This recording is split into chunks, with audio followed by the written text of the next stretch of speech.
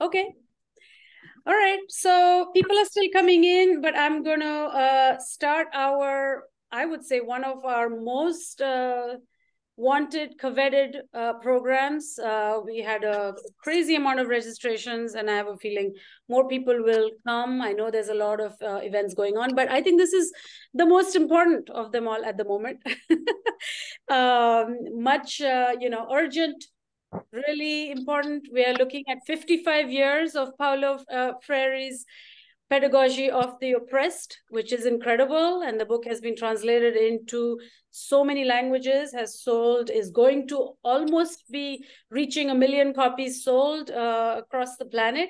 And I'm so thrilled uh, to welcome uh, Professor Antonia Darder uh, to give us this immersive seminar. And she has, of course, uh, kindly and generously made sure that other people are involved. So it's not just uh, kind of going with this concept of the master class and mastery, and there's other people, and there's going to be lots of time uh, for questions and commentary and conversation as well.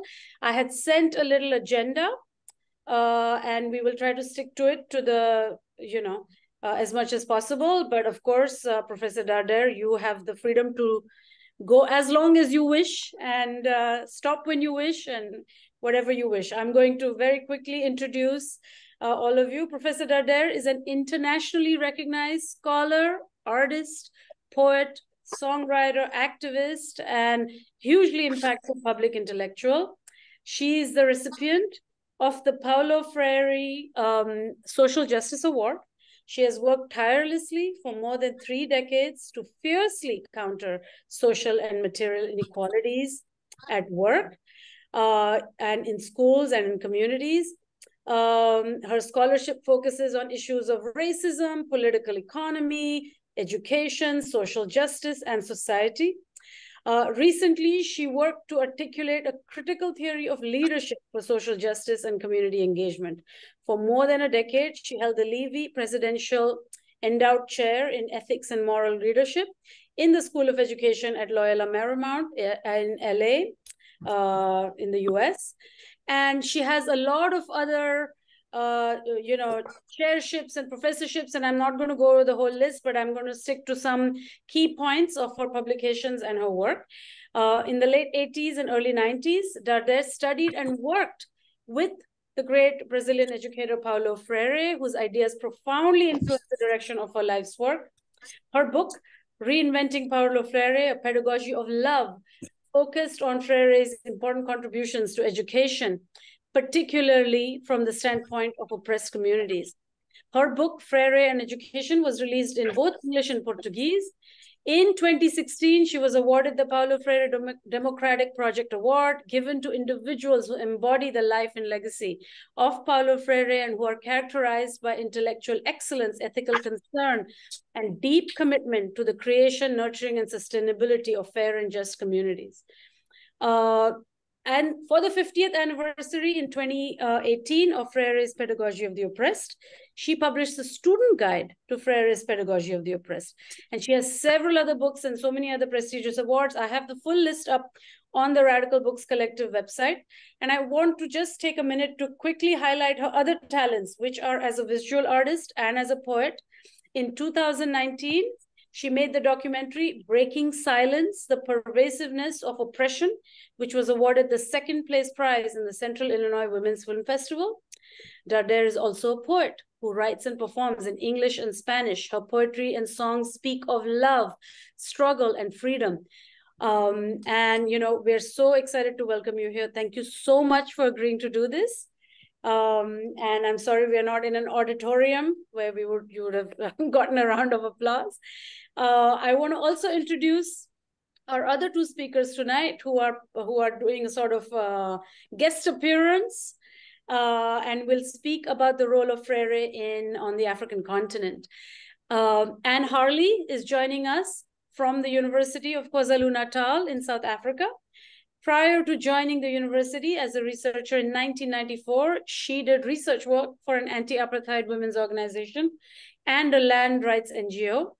Uh, working within the radical adult education tradition, she is particularly interested in informal ad adult education slash learning in slash through slash with struggle and her work focuses on counter-hegemonic learning and theorizing, particularly in subaltern social movements, and is thus related to issues of emancipatory politics, the notion of civil society, and discourses of development in South Africa and beyond. She has published numerous articles and chapters and produced lots of popular publications. She heads up the Paulo Freire Project, an affiliate of the uh, Freire Institute in Brazil, and she's a member of the Popular Education Network, an international network of people involved in popular education. Uh, thank you so much, Anne, uh, for coming here. And then there's Feroz Manji, who is a writer, publisher, activist with more than 40 years of experience in international development, health, human rights, teaching, publishing, political organizing. He wears so many different hats. He'll make you dizzy. He is the founder and publisher of Daraza Press, Daraja Press, which have a mission, in their own words, to build upon, develop, and support interconnections between emancipatory struggles of the oppressed and exploited across the world. He has published several books, and the most recent ones include African Awakenings, The Emerging Revolutions, China's New Role in Africa and the South, and he is the recipient of the 2021 uh, Nicolas Cristobal Guillen Batista Lifetime Achievement Award from the Caribbean Philosophical uh, Association. Thank you all. I'm going to, um, you know, I'm going to hand it all over to you. And uh, let's uh, let's take it further. I think we're starting with uh, Professor Antonia Darder.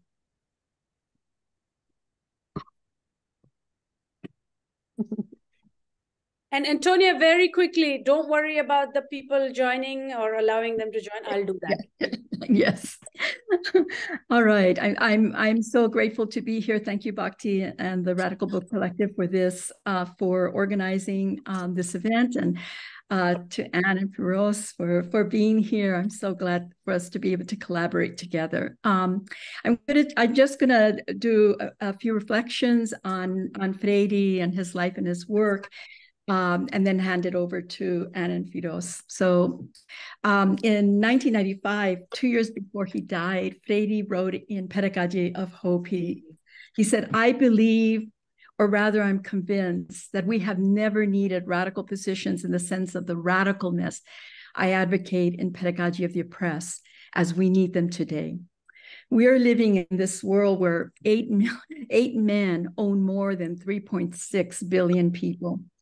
They own more wealth than eight men own more wealth than half the world's population. The dehumanizing impact of capitalism and its sordid inequalities is at work in the lives of students worldwide today, just as it was at work in the students, the lives of the students in Freire's time. In response, revolutionary educators have worked to continue to embrace Paulo's dream for a more just and loving world. This is made apparent in that next to John Dewey, Paulo Freire is the second most cited educational philosopher in the world.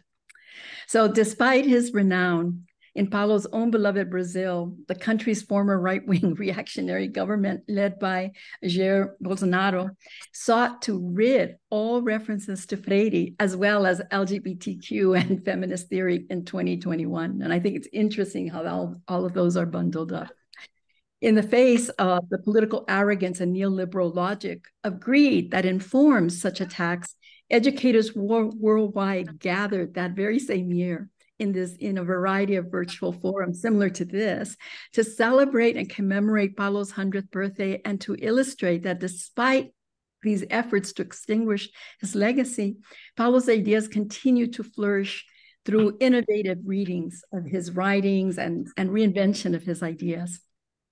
In considering Paulo's history and contributions, I find it useful to acknowledge him as a 20th century epistemologist of the South. This is to say that his epistemologies and epistemological sensibilities emerged directly from his contestation of what Quijano calls the coloniality of power. Freire was concerned with a moral disregard of the casualties that capitalism leaves behind, that colonialism creates, despite the widespread presence of government and church institutions in Latin America and other parts of the world that often turn a deaf ear and a blind eye to human suffering by perpetuating myths about subaltern populations. My favorite always is the commonsensical mantra that the poor will always be you know the sense that that poverty is determined i'm hearing somebody can you make sure that your um, that everybody has their um, their uh, uh, mics muted please thank you yeah, yeah.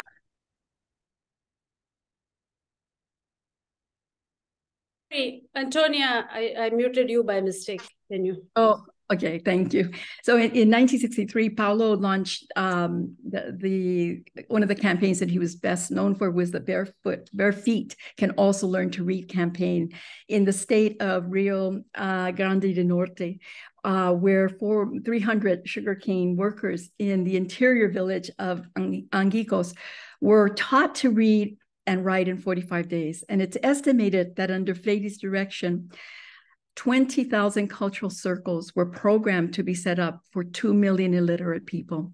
However, at the time, you know, Brazil as a nation was heavily embroiled in this contentious politics tied historically to the damaging legacy of Portuguese colonialism and its own complex internal politics, which resulted then in the 1964 military overthrow of President João Belchior Goulart and bringing an end to the literary campaign and of course, it led to his exile from Brazil.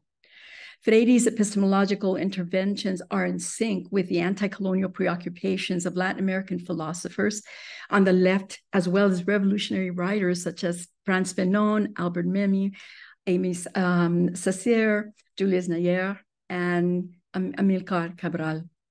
In an unapologetic acknowledgement of the brutality of human oppression, Freire's pedagogy of the oppressed sought to intentionally shift the focus away from a dehumanizing and debilitating epistemology of knowledge construction toward a liberating and a humanizing one. As such, Freire's approach was imbued with a decolonizing sensibility that directly connected material conditions of oppression to the brutal forces of cultural invasion that were imposed on the oppressed in Brazil and around the world.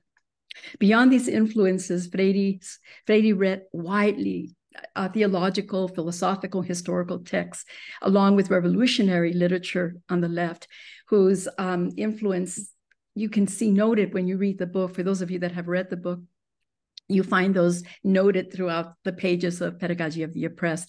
I always remember being at his, um, at his, in his library um, years years ago and just was just amazed by the range of, of books and the, the different areas that he read. He was truly multiplic- multiplicity uh, of interests um, were part of how he came to think the way he did. He was very much what i call a, a multidimensional thinker I think it's also interesting in terms of his intellectual history. He, he at at the University of Recife, he um, studied law, but he also studied um, language and phenomenology. So, um, in in in the process, he was reading the existentialists, people like Kierkegaard and Jaspers, and French ex- existentialists like Sartre and de Beauvoir and Dufresne, um, Mannheim and Buber. I mean, these were all influencing him in phenomenology. Hegel, Husserl, Heidegger. You know, they all reinforce this sense of importance of experience in the political process for him. And then, of course, other revolutionary influences that were major was Marx and the work of Marx and Lenin, Rosa Luxemburg, Lukács, you know, Antonio Gramsci. He read the Frankfurt School, but he was especially fond of the writings of Erich Fromm, which I think is interesting because Erich was Erich Fromm was expelled at some point from the Frankfurt School and ended up in Mexico. And it did it made so much sense to me because of the way that Erich Fromm thought that he found such comfort in Latin America and in a very different epistemology and way of seeing the world. Um, educational philosophers, of course, he read. So people like Henri Bergson in terms of intuition, Dewey's work on education and democracy and pragmatism, Peter Furter's work on uh, on, a, on a project that he called Andro uh, Andro Gogical. It's always difficult word for me to pronounce, but it, the whole meaning is that, of course, that all knowledge and, and thought begins in the human being, in the person. With Pedagogy of the Oppressed, and Freire sought to unveil the oppressor-oppressed contradiction. I'll be talking more about that later. And it unleashed, um, unleashed it as of its tried to unleash it of its ideological stranglehold and counter the binary and closed system of Eurocentric modernist rationality and the epistemologies of blindness that it produced. So over the years, I, I, I would be remiss not to say that there were various critiques of Freire's Pedagogy of the Oppressed, and they've been issued about a variety of questions and contradictions in his work. Critics have bemoaned the romanticization of Freire's discourse I can't help it. I can't say that with a straight face. The, the problematics of applying Freire's method, concluding that Freire, rather than being revolutionary, acted as a liberal member of the Catholic intellectual elite. Others called out Freire's use of patriarchal language and his failure to engage questions of gender. And still others judged Pedagogy of the Oppressed to be an illogical and inconsistent text that was filled with contradictory discourse, lacking systematic analysis. I'll let you be the judge of that. At other times, Freire's ideas have been considered to be harmful, not just to the students, but to the teachers entrusted with their education, which incidentally echoes the political views of the Tucson Unified School District here in the United States in the state of Arizona, uh, that in 2012 banned pedagogy of the oppressed from classroom use for two years. Other critics have challenged uh, uh, Freire's uh, speciesism or the privileging of human life in his articulations of freedom and empowerment. In many instances, Freire actually made intentional efforts to rethink his language and expand his understanding. Shifts reflected in his writings over the course of the years. You saw him changing his language and, and rethinking certain positions. But more recently, post-humanist critiques of humanity or humanization, so much a part of Paulo Freire's uh, discourse, argue that these inadvertently reinscribed commonsensical discourses of supremacy, patriarchy, and oppression, values which are in direct contradiction of Freire's expressed and lived liberatory intent. Here we can only imagine Freire's response, which more than likely would have been to read and listen carefully to criticisms unfolding and perhaps offer alternative readings, right, in ways that would welcome this deeper reflection and dialogue. Central concerns would have been linked to the concrete political consequences of such critiques or such views, as well as their overarching impact on our thinking, our action, our politics, and our pedagogy. So the dialogue would have been unquestionably, I believe, thoughtful, engaging, and very passionate.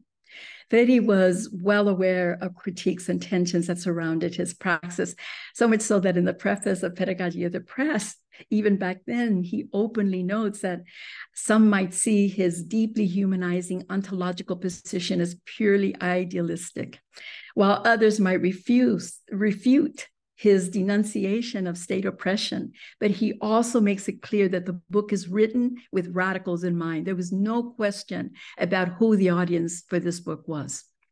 As an emancipatory intellectual in the decolonizing tradition, uh, Paulo firmly believed in the relational necessity of engaging conflicts across ontological and epistemological differences, as well as grappling with tensions that were rooted in the binary formations and contradictions of the Western mind.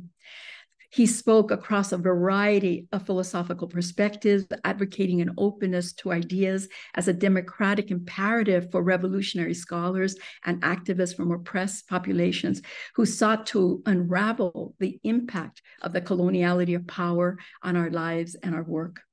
In an examination of his intellectual journey, what stands out most clearly to me is that Freire wasn't a rigid dogmatic thinker in that his early um, lived history of surviving and maneuvering extreme difficult conditions of social and economic oppression perhaps were what prepared him to see the folly of sectarianism, uh, which he denounced in pedagogy of the oppressed as this obstacle to our emancipation, in that it mythicizes, it alienates, it negates our freedom, manufacturing knowledge in the absence of democratic participation.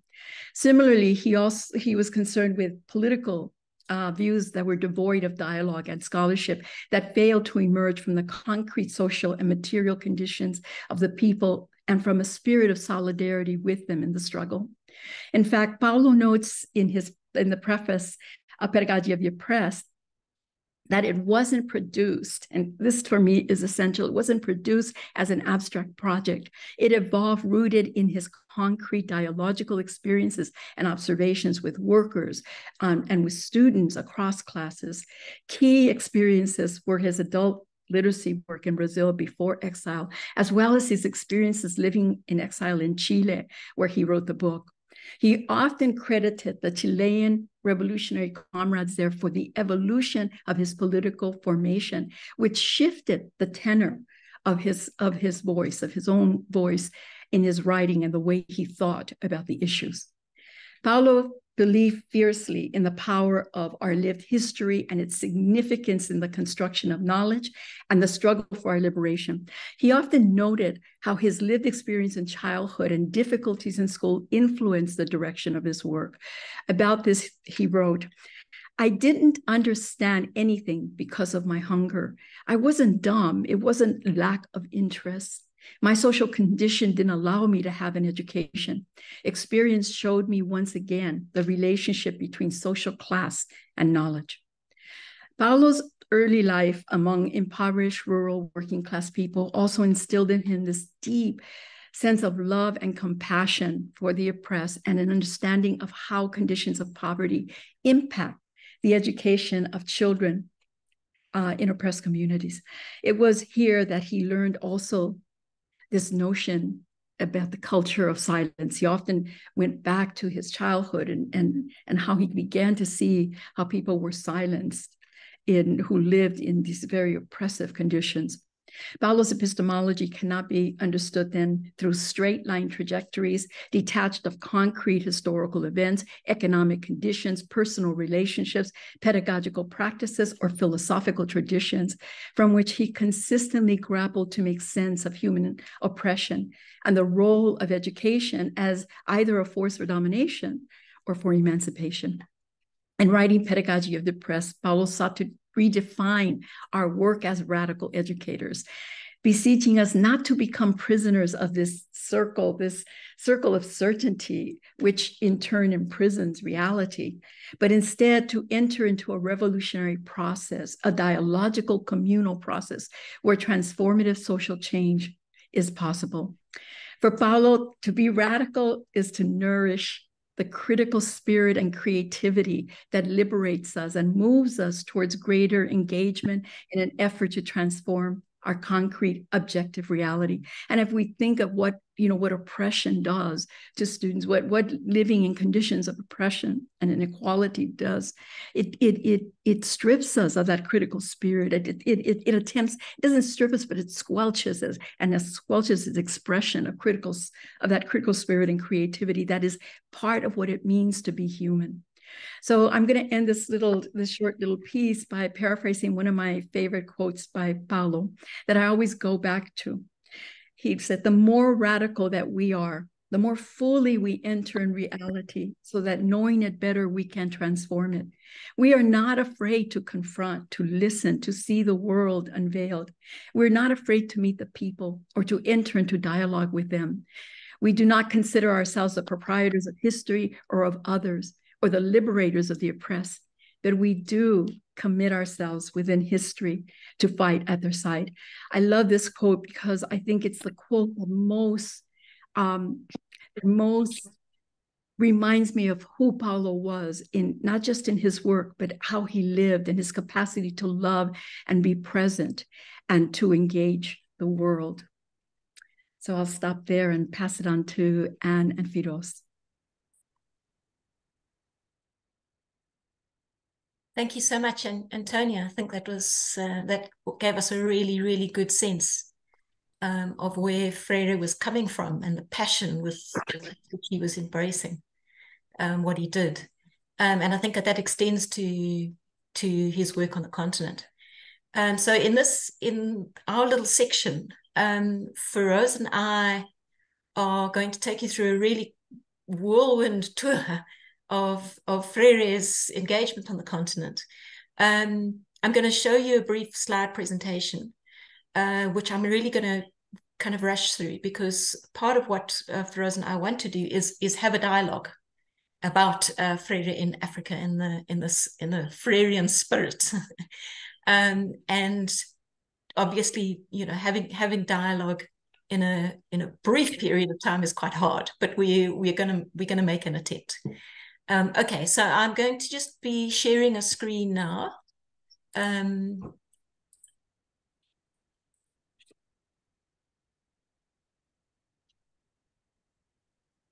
Okay, so you can see here that this is Spirit Africa in dialogue. And I think that the point is here is not just Feroz and I in, in dialogue, but it's it's about uh, Freire engaging with the continent. Um, this is not simply about the continent and, and people uh, within countries in Africa being influenced by Freire, which happened, but also very much about Freire himself being influenced. Um, Freire spoke about the fact that he felt he had a, a particular kind of affinity to the continent. He he related this to his background um, in in Brazil, having been um, colonized by the Portuguese, but also that uh, a high number of um, of sl uh, slaves of, of African descent um, had been brought to the the area of Brazil. Um, and so there were many people who were descended from that within that. And he felt that this gave him a connection um, to the continent.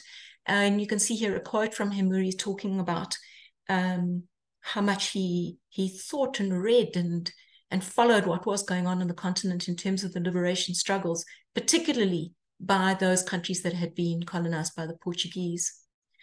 Um, this map is just to to give a sense of of uh, where he was engaged. Um, I'm going to talk about most of these countries very, very briefly, but I just want to give a sense of of uh, the, the the spread of his um, interest and engagement. Okay, so as I said, um, Freire, following these liberation struggles, reading um, writers, and Tony has already mentioned the influence um, that he he says Fanon had on him.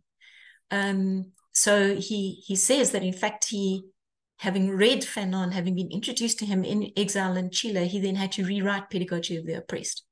Um, I think he's pro- he probably overemphasizes it a little bit there, but it is an, an interesting point.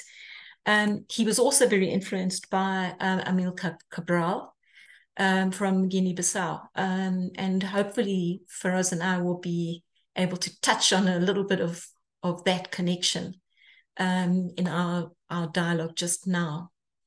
Um, he had huge respect for Amilcar Cabral, um, and and in fact had planned to write a book on him. Uh, had interviewed many people for the book, uh, but then ran out of time.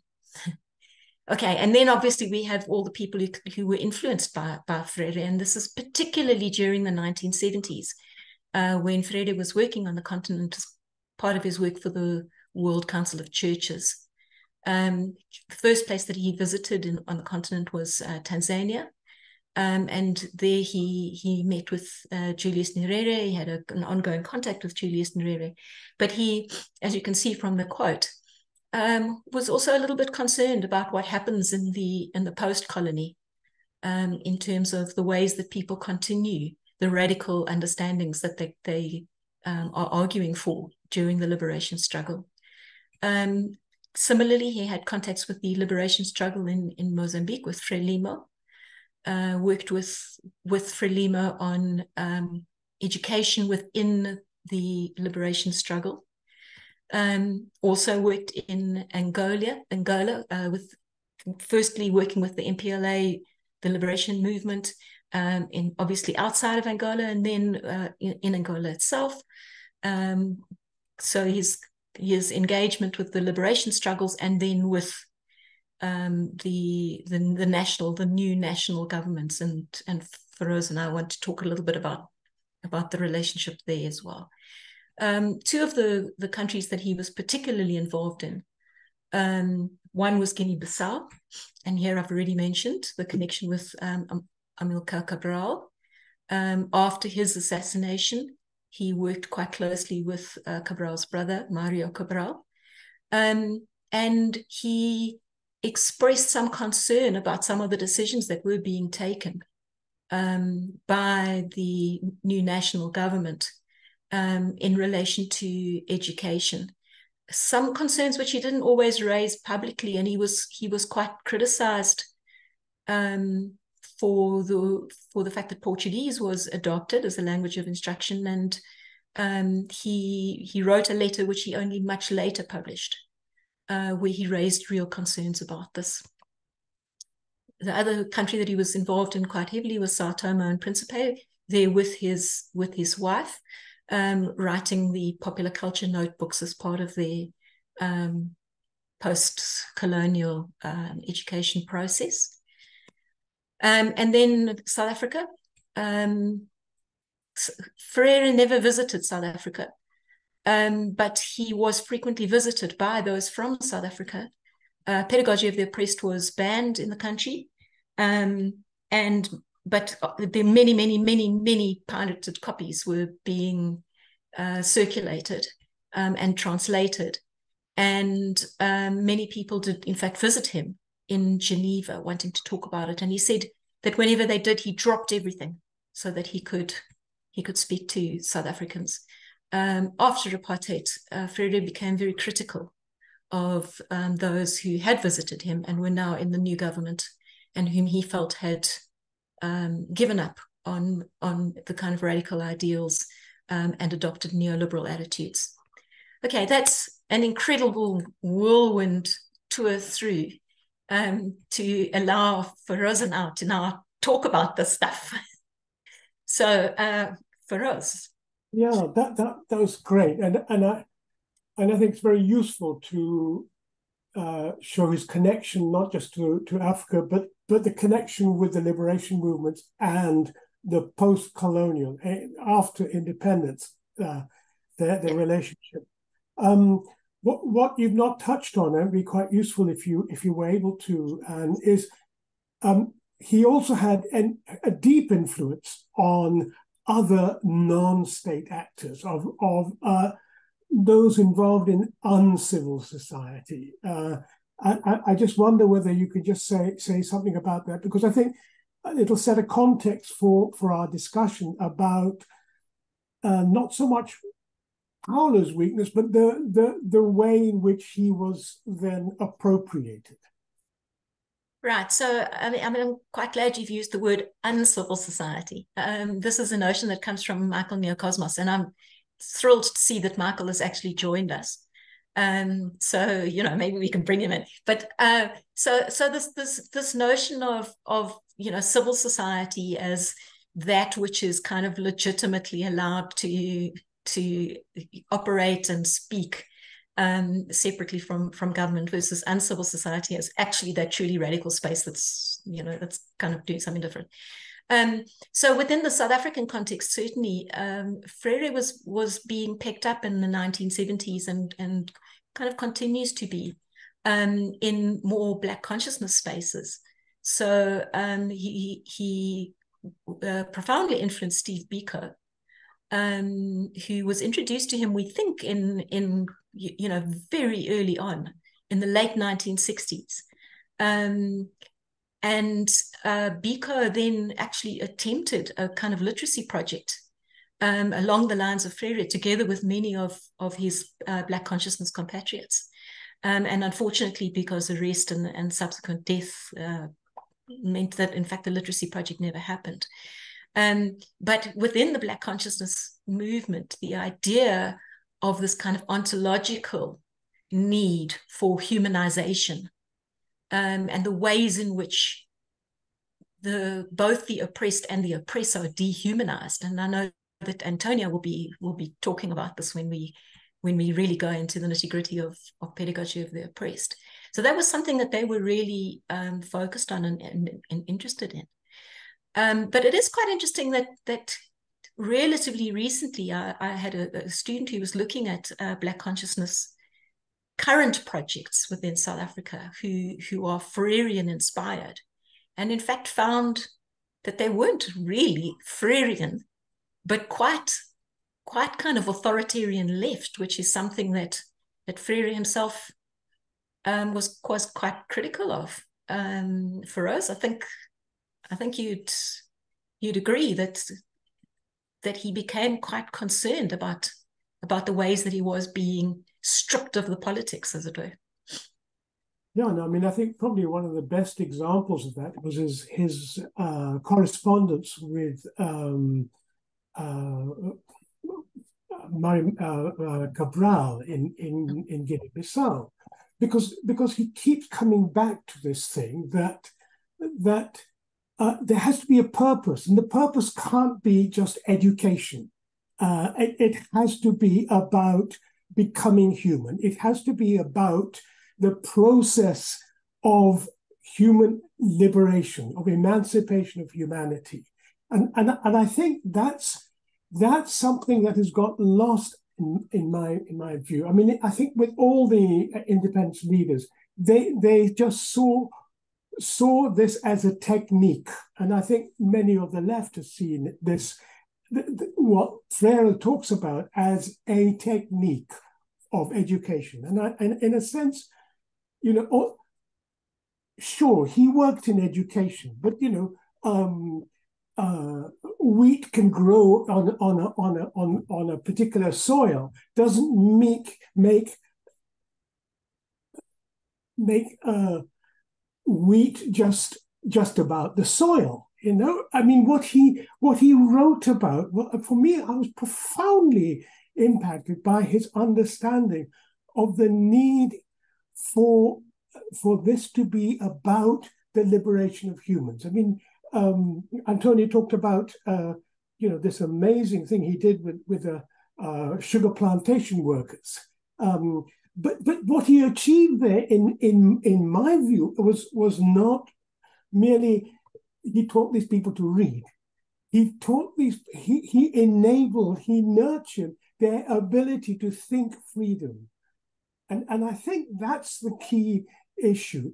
Is it possible for ordinary, and I think this is a point that is often missed, that ordinary people, the most les damnés de la terre, the damned of the earth, the, the wretched of the earth, are able to think emancipatory thoughts. That it is absolutely fundamental to to uh, Freire's uh, ideas. And what I find tragic is is how subsequently it has become that been reduced to a technique for PhDs, for participatory rural appraisal, and for grants and and and you know hustling for for for, for aid and so all, all that shit. Okay, and I think that has that has really really um, it's it's done exactly what development is about, and that is to depoliticize the whole issue of what Freire's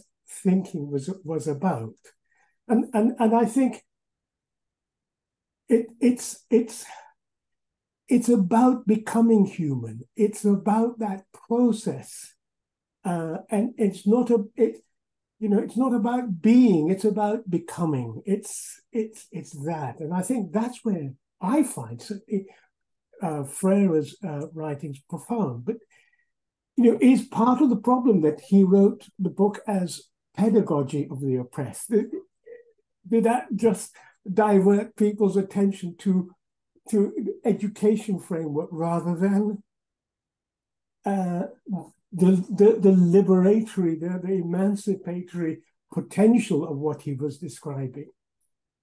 I mean, I think it's an interesting point, and it'll be really interesting to hear what what Antonia has to say um, about the, about the naming because he continued to call so many of his books pedagogy, pedagogy of hope, pedagogy of liberation, and so on. Um, but yes, I mean, I think that the the you know your frustration, I think, was a frustration that he quite often expressed in relation to to what happened um, in the post colony. What I think is quite interesting is is the fact that he seems to have retained a um, some kind of faith in the role of the state. Um, and and and that I think is is something that is that is now really being um, questioned um, in in kind of a radical thinking. You know, can does any state ever act on behalf of of the humanizing of its people? Yeah, um, according to somebody like John Holloway, absolutely not. In, in, indeed, and I, and I think that is a very important point, and I and I hope that this is something that that Antonia will will elaborate upon uh, in in in her subsequent talk, because I, there is this obsession with with thinking that the state can deliver, and and I think one of the problems we had with the with the national liberation movements was that they equated the achievement of political independence with freedom. And it wasn't. It was the a step towards becoming human.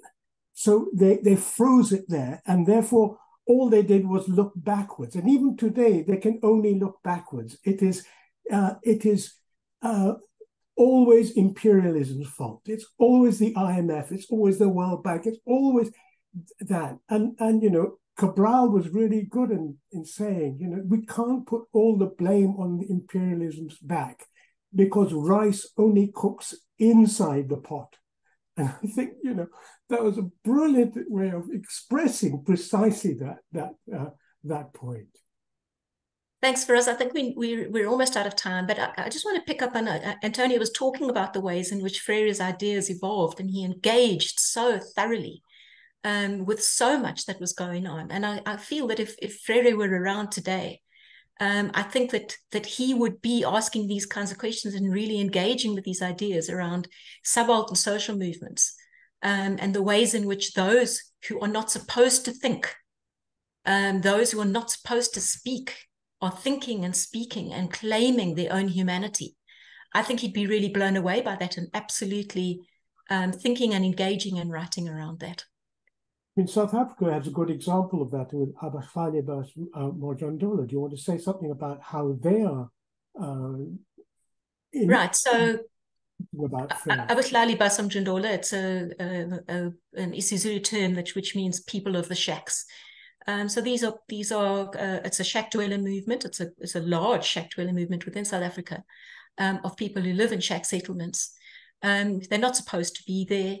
Uh, they're not supposed to think. They're not supposed to speak. Um, in, in statist politics. Um, but they are presenting themselves. They're refusing to be represented. Um, and they are speaking, and, and obviously they are thinking because all human beings think.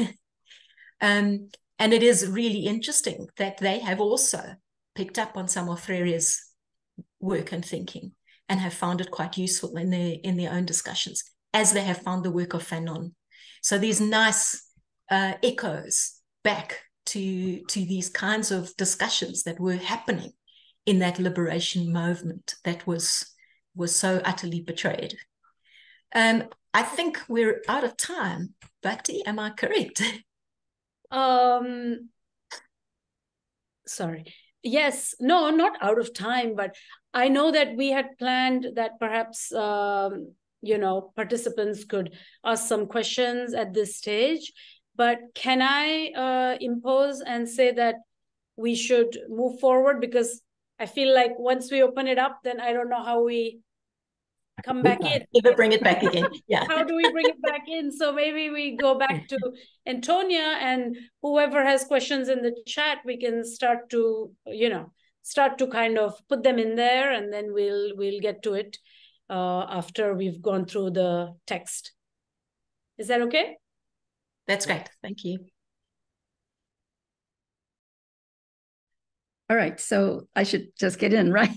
I, I just want to just respond to a couple of things. Um, uh, one of the things that was interesting to me was working with um, Salim Vally at at um, University of Johannesburg, and he's done work on Alexander Neville. And one of the things that that he always talked about was how in Robben's Island, when they were imprisoned, um, you know, Mandela, Alexander, um, and the others, they they were studying pedagogy of the oppressed. They got a copy in, and they were so. So there were all sorts of ways in which um, I think that known and and you know known and not known, invisible, visible and invisible of how Freire's work um, had an impact. The other thing I want to say is, you know, uh, um, and this is something we can go back and forth, but you know, there's this notion of becoming human. I think what what's really interesting to me is that I think in in the the the in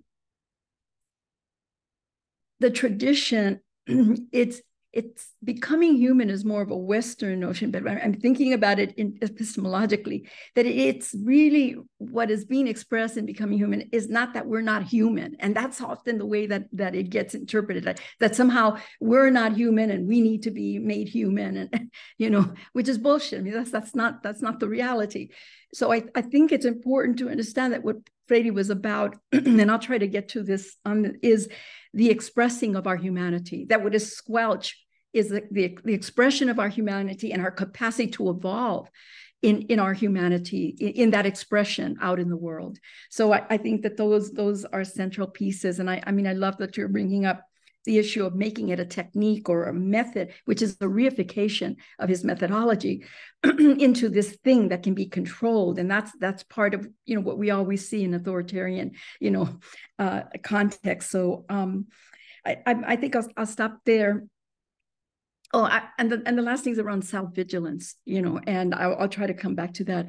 That I think that Freire was asking us to be self vigilant. That it wasn't only about, you know, the oppression that was happening. Yes, that we had to understand the structures of oppression, but we also had to understand how we ourselves are are embedded you know how the how the the the i mean this is the whole thing around the the oppressor oppressed contradiction or what you call the you know the the tragedy of how you know the in terms of oppressive communities that have been oppressed they're defined by the oppressor but then that is also becomes embedded in us and then we we live it we we enact it often unconsciously um, and unaware of how we're perpetuating some of the very same relationships ways of being that actually take us back into into an oppressive um, way of engaging. So I, I'll just stop there because we'll have so much hopefully to, to talk about afterwards. Um, I want to. So, for those of you that are uh, on this, I mean, I'm I'm I'm supposing that most of you have read Pedagogy of the Oppressed, but I am going to do what is just this broad stroke, quick movement through the book um, and in and of course you know it's going to have it's going to be colored by my reading of it you know. So the way that i see chapter one for example is where freire really tries to lay out why why we need a, a pedagogy of the press. And uh, for me the quote that always stands out is he says without freedom we cannot exist authentically.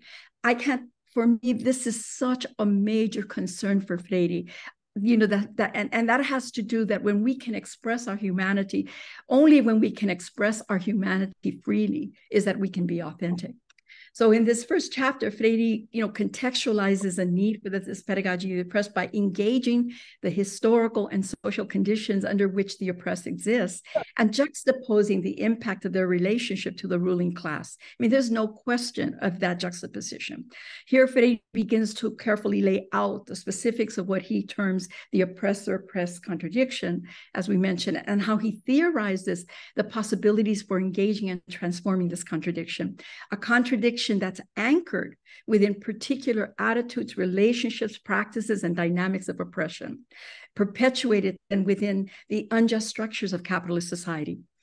As his discussion unfolds in the book, you know, Freire makes it very clear that liberation is neither a gift that can be bestowed, that I mentioned earlier, upon others, nor is it solely an individual pursuit. And I, this is such an you know it seems so small and yet it's so it's huge in terms of our how we come into this work and especially our working communities that we're not there to to to, to give gifts to to empower others. We are there in fact to to work with one another and in that process of working with one another we are empowered. We we are empowered as communities. We're empowered as comrades.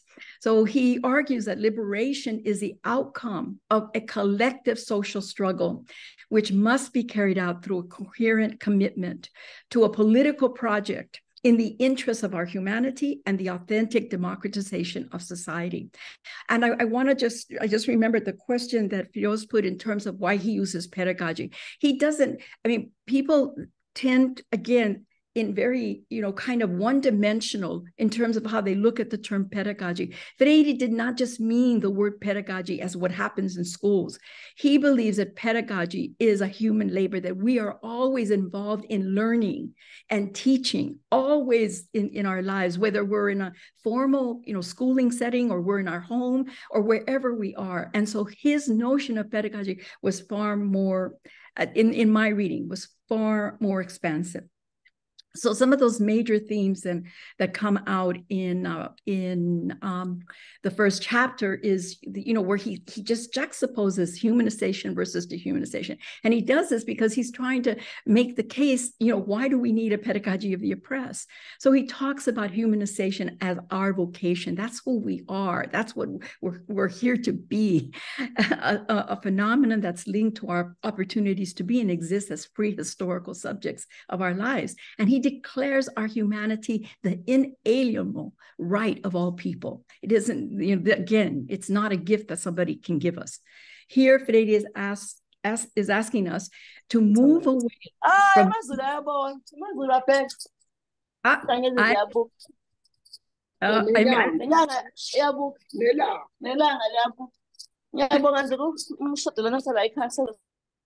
uh, thank you. Okay, thank you. Sorry. anyway, I went, Freire was essentially asking us to wait to move away from these universal fixed or prescribed notions of life and our humanity, which are traits that are actually central to mod modernist logic, and instead adopt a multidimensional, relational, and and also have a concrete element to our vision of, of our humanity, you know, a very embodied sense of our humanity, where the context dictates our approach, and therefore it is never a recipe. It's, you know, none of this happens as a recipe. There is no prescription for being human. Dehumanization both then domesticates and distorts our humanity. This condition is not a given destiny, but the result of an unjust order. So this doesn't just happen. You know, this is not human nature you know to oppress this is these are structures that are learned and, and, and socialized and conditioned in human beings and within societies. He posits, however, that the very experience, which I think is another important point, of dehumanization is what eventually can lead the oppressed to struggle. The fact that we become aware of our oppression and, and begin to struggle against that oppression and be able to name it from within. Freire affirms that the historical task of the press is not solely about our liberation, but also the liberation of, the, of oppressors as well. This point has been a point of contention. I can tell you how many times it's come up. Um, what Freire signals here is the dialectical relationship between oppressed and oppressor. That's the point he's trying to make. Hence, the oppressed cannot be truly liberated without the oppressors being liberated in the process. And the reason he says this is he's bringing this dialectical understanding. So neither can exist without the other. We can't have oppressors without the oppressed. We can't have the oppressed without oppressors. Freire doesn't essentialize either pole of this dialectical relationship between humanization and dehumanization, and that he argues that both are possibilities in the context of history and our human unfinishedness. And this is where he begins, you know, to bring out this, this concept of unfinishedness that is also important to his politics, and it was important throughout his life. It is much of this unfinishedness. In other words, history isn't determined you know this unfinishedness that that it is because of the unfinishedness that then you know we can transform as such, oppression must then be seen as a limiting situation, not as a closed condition. He makes this distinction, of course, in, in his in his in the book about you know true generosity versus false generosity. So false generosity exploits the weakness of the oppressed. And in order to continue to express their generosity, those in power actually perpetuate the injustice. You know, true generosity consists of fighting for the restoration of our humanity, which and the expression of our humanity, which requires that we dismantle false charity used by the powerful to constrain the fearful from working to transform our world. So false generosity camouflages inequality and subdues the fear of freedom, while true generosity nurtures a of self-determination and democratic participation in our learning and communities. Another concept that comes up is this notion of free, fear of freedom, and you've already heard some elements um, in the in the discussion so far. But the fear of freedom he it constitutes the relationship between oppressor and oppressor that is prescribed and becomes embedded where there's this sense of to express our freedom means retaliation. It means the the loss of all freedom. And here you know he makes the point that freedom requires ejecting this image of the oppressor and replacing it then with autonomy and responsibility that's acquired by struggle again not a gift so freedom is this, this indispensable condition for the quest for human completion in that without freedom we cannot live authentically and again that that that um, that theme arises. The, the theme of love begins in this first chapter. This is where, you know, where later, you know, I, I, write about pedagogy of love, but it, it begins right in this first chapter where he, you know, he argues that the struggle for our liberation constitutes an act of love. The reason we struggle is because of our love for the world, our love for each other, our love for, for, for our capacity to be in the world, and introduces the notion of an armed love, where there is this commitment and determination to fight for our liberation. Of course, the central problem that he's trying to unpack in this first chapter is the dismantling of, of this oppressor oppressed relationship. So, how can the oppressed, as divided, unauthentic, on, on unauthentic beings, because of the way that the structures oppress us, participate in developing the pedagogy of their liberation? He says we must overcome the internalized duality of this oppress oppressor contradiction although then the struggle for liberation is a is he i always remember talking about it, it's like childbirth you know a painful one. The solution for overcoming the contradiction lies in the process of sustained dialogical collective labor that reveals our disempowerment while mobilizing transformative action in the world. Freire introduces in this oppressor oppressed dialectic, which tries to counter the dichotomous split and instead then argues that both are locked in this dialectic that dehumanizes both. And thus, one cannot exist without the other again. So, central to this whole idea is this notion that the oppressed often are conditioned into accepting the powerful as their ideal, while simultaneously the powerful have the power to define the oppressed. This contradiction is what later he calls the tragic dilemma of the oppressed, which I mentioned a, a, uh, uh, um, a couple minutes ago. He also talks about solidarity in this chapter and how solidarity con- connotes engagement with others as subjects, not objects of our own lives. And it breaks the abstraction and objectification that's built in to the way the oppressed are perceived by those in power. Freire then begins to set out this, this notion of revolutionary praxis, which is dialogical praxis. I mean, for him, if he talked about revolutionary praxis, he was talking about dialogical praxis. Our domestication can only be transformed by means of our praxis, a regenerating, a regenerating process of reflection, of dialogue, and transformative action this entails that we have to break that duality. And we, one cannot conceive then of objectivity without subjectivity. There is a dialectical relationship always at work. At the moment that we try to to create a binary of objectivity and subjectivity, we enter into the realm of an epistemology of domination. And this is a you know, so therefore it has to be a constant dialectical relationship. The world and humans do not exist apart from one another. We exist in constant interaction with our world, with our histories, with our lived experiences. In the struggle then for liberation, we, we have to confront reality critically and act upon that reality. What makes struggle possible in the process of a conscientization, becoming aware of one's own oppression and, the, and, and that of others, which is then fostered by conditions of open dialogue and collaboration. I mean, that's what dialogue is, is an unveiling process. This is a critical first step towards liberation, the unveiling. The radical requirements of praxis is that the concrete situation that begets oppression is transformed. So Paulo notes, however, that when a change in objective reality threatens an individual's class interest, this is going to provoke false perceptions and there's going to be resistance and it may lead to violence. And he's very, you know, he's he puts that right out. So those two stages, and I, I think Firoz uh, um, mention again is that the initial stages in this major process of unveiling the culture of silence, of dealing with the concerns of the oppressed and working towards transformation of our concrete conditions. The second stage begins, and this is this is um, Firoz was absolutely correct in, in his in the way that you know he was talking about part of revolutionary um, um, historical revolutionary situations where we never get to the second stage because the second stage begins when the reality of oppression has has been transformed.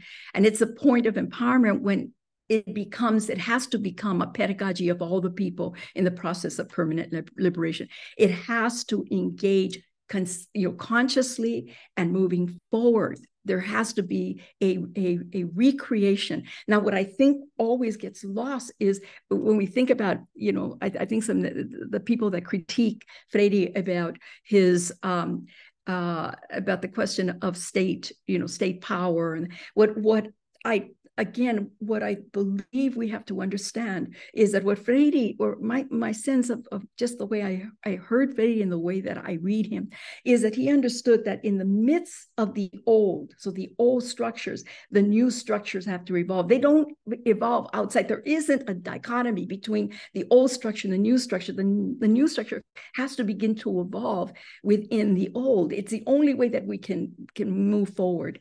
And I think that his, again, deeply dialectical understanding of that uh, is often misunderstood.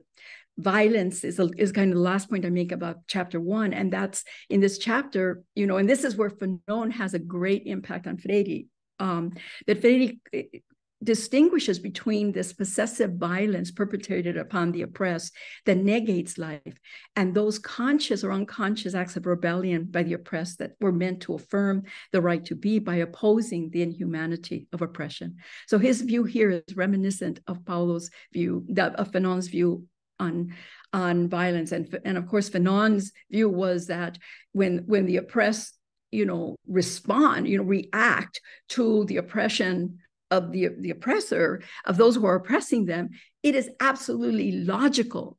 Their response is a logical response given um, the brutality of oppression that they are attempting to rid themselves of. In chapter two, here is where Freire begins to kind of outline what he means by a pedagogy of the oppressed. And he, he wrote from a, par, a apart from inquiry, apart from the praxis, individuals cannot be truly human. So that so this is always, you know, pedagogy is always an ongoing process. Knowledge emerges only through invention and reinvention, through the restless and patient, continuing, hopeful inquiry human beings pursue in the world, with the world and with each other. So in chapter two, Freire sets out to unveil the manner in which education functions as an instrument of alienation uh, motivating philosophical ideas and enliven his critical analysis come from the works of existentialists, Marxists, and critical theorists who engage questions of ideology, cultural hegemony, consciousness, and oppression in ways that that um, that engage the underlying structures of domination and liberation. From onset, Freire begins this discussion of a narrative character of an educational system that's rooted in the perpetuation of a colonizing and capitalist worldview, what he's talking about, you know, an authoritarian form of, of schooling.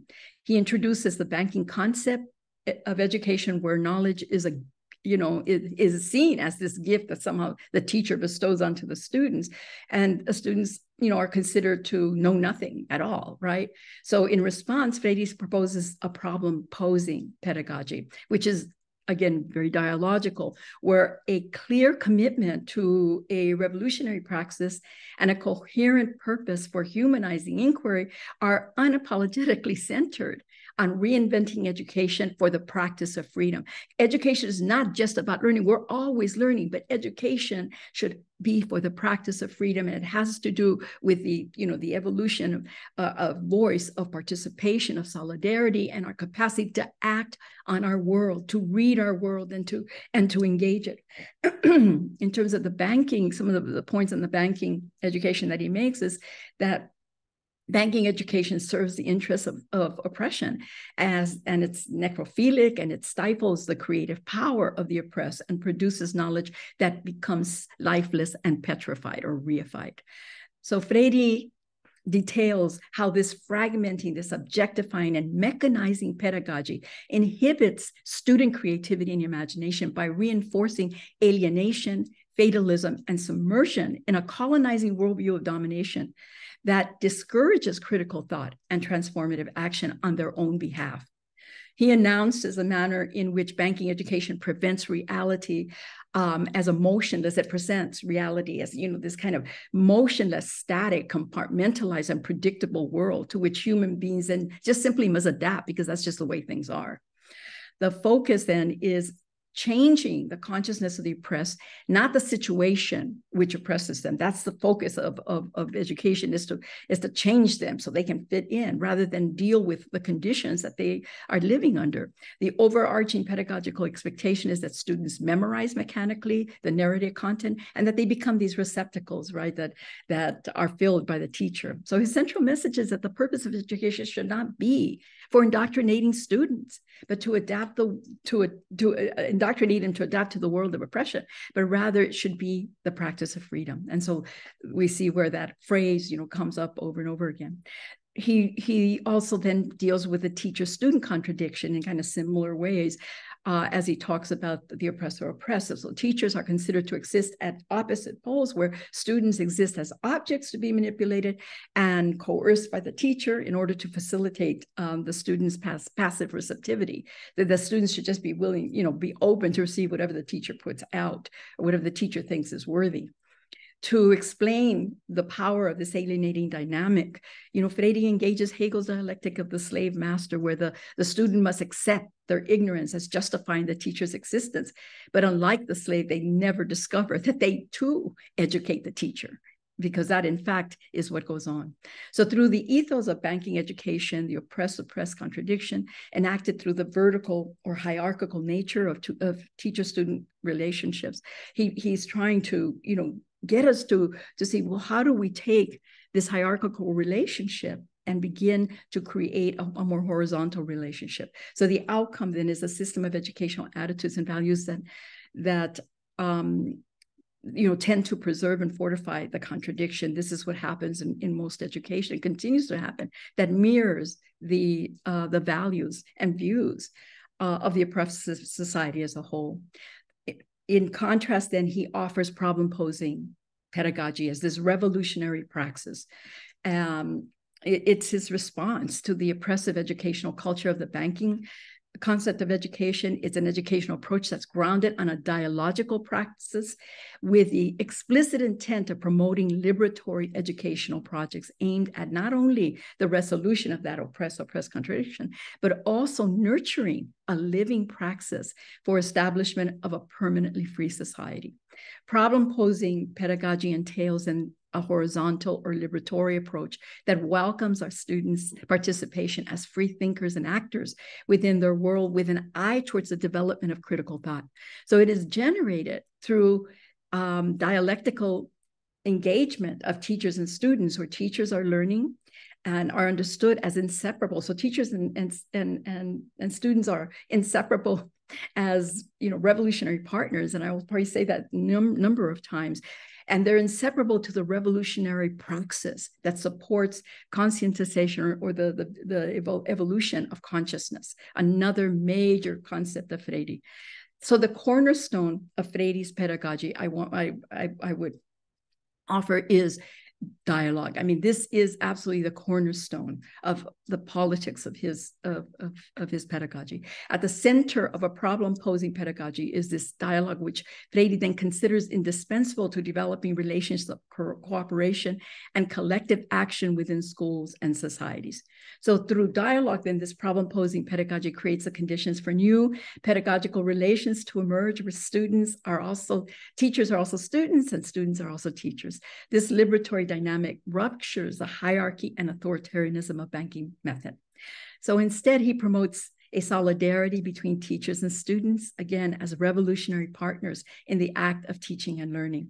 So through dialogical praxis, this problem posing pedagogy creates the space, it creates the place and the time for teachers and students to discover and rethink together the social material contradictions that impact their world.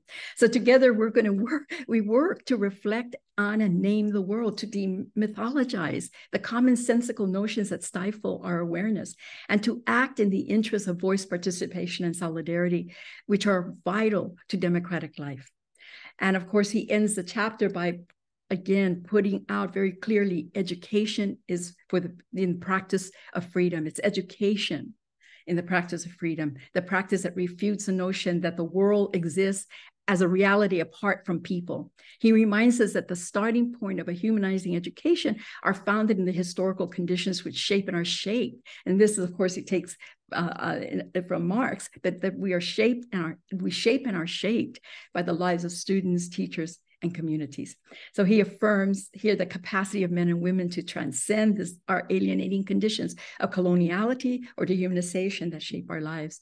He, of course, extends his work to the realm of revolutionary leaderships. And he begins to do this, which then he, in chapter four, he comes back to, that he says in this revolutionary process, the leaders cannot utilize a banking method as an interim measure, justified on grounds of expediency with the intention of later behaving in a genuinely revolutionary fashion. They must be revolutionary, that is to say, dialogical from the very onset.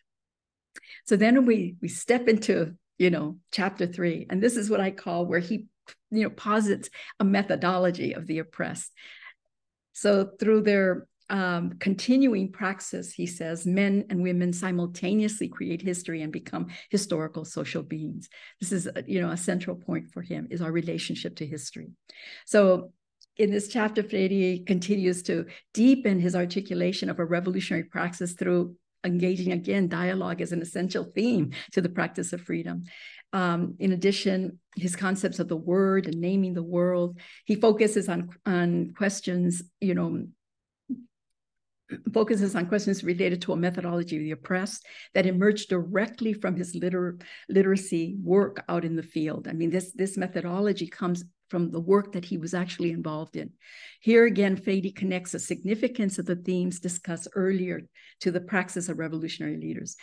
Um, so for Freire, this question of dialogue is always dialogue with the people, and that in that dialogue with the people, or dialogue with our students but here he's he's really going out in communities taking it beyond the classroom to disrupt the culture of silence. It's perpetuated through structures of social alienation and material oppression he offers indispensable qualities of critical dialogue that pave the way for horizontal relationships that can nurture and sustain then the this what he calls the indivisible solidarity required to participate collectively in transformative praxis.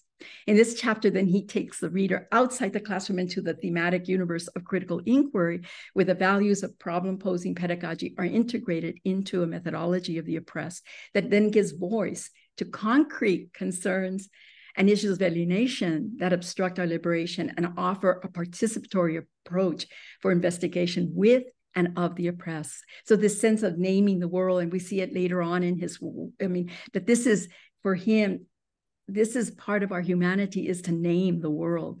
And by naming it, we change it. So the word is absolutely essential. Our authenticity comes out through the way we use the word. He talks about an inauthentic word being, you know, it dichotomized. It's a, dichotomy that's imposed um, that that is imposed. It's a word that deprives us of, of dimension of action. This is inauthenticity. Then becomes a kind of verbalism. Just to talk about something without doing anything is is is you know mere verbalism that does not transform. He talks about um, that without the word for for uh, with action, you know, without combining word with action, then we have a kind of uh, some would say in quotes vulgar activism because it's devoid of reflection and critical engagement. So people are just doing, like doing, but never coming back and engaging, never being, um, you know, fully moving through the praxis, which requires us to come back and to and to reflect on the impact of of our actions. Dialogue again you know is is this encounter he talks about it as this encounter between people mediated by the world. That's how we come to dialogue. And it cannot occur between those who seek to control by not naming the world as it is but rather as they would prescribe it. So the features for, for Freire around dialogue is that he believes it to be an existential necessity of human beings to be in dialogue, that it's an act of creation, that we can only exist, if dialogue can only exist um, in the presence of love. Other places he's talked about dialogue as an act of love. So to establish then genuine dialogue, Freire contends that educators must transform vertical relationships rooted in, authoritarianism. And this entails dismantling then the colonizing ethos of domination by establishing conditions for horizontal engagement within schools and communities. So rational aspects are in are also pardon me relational aspects are indispensable to horizontal relationships like you know and the reason i say this is because for freire humility faith trust hope and solidarity these are what what for him encompass our capacity to enter a pedagogy of love.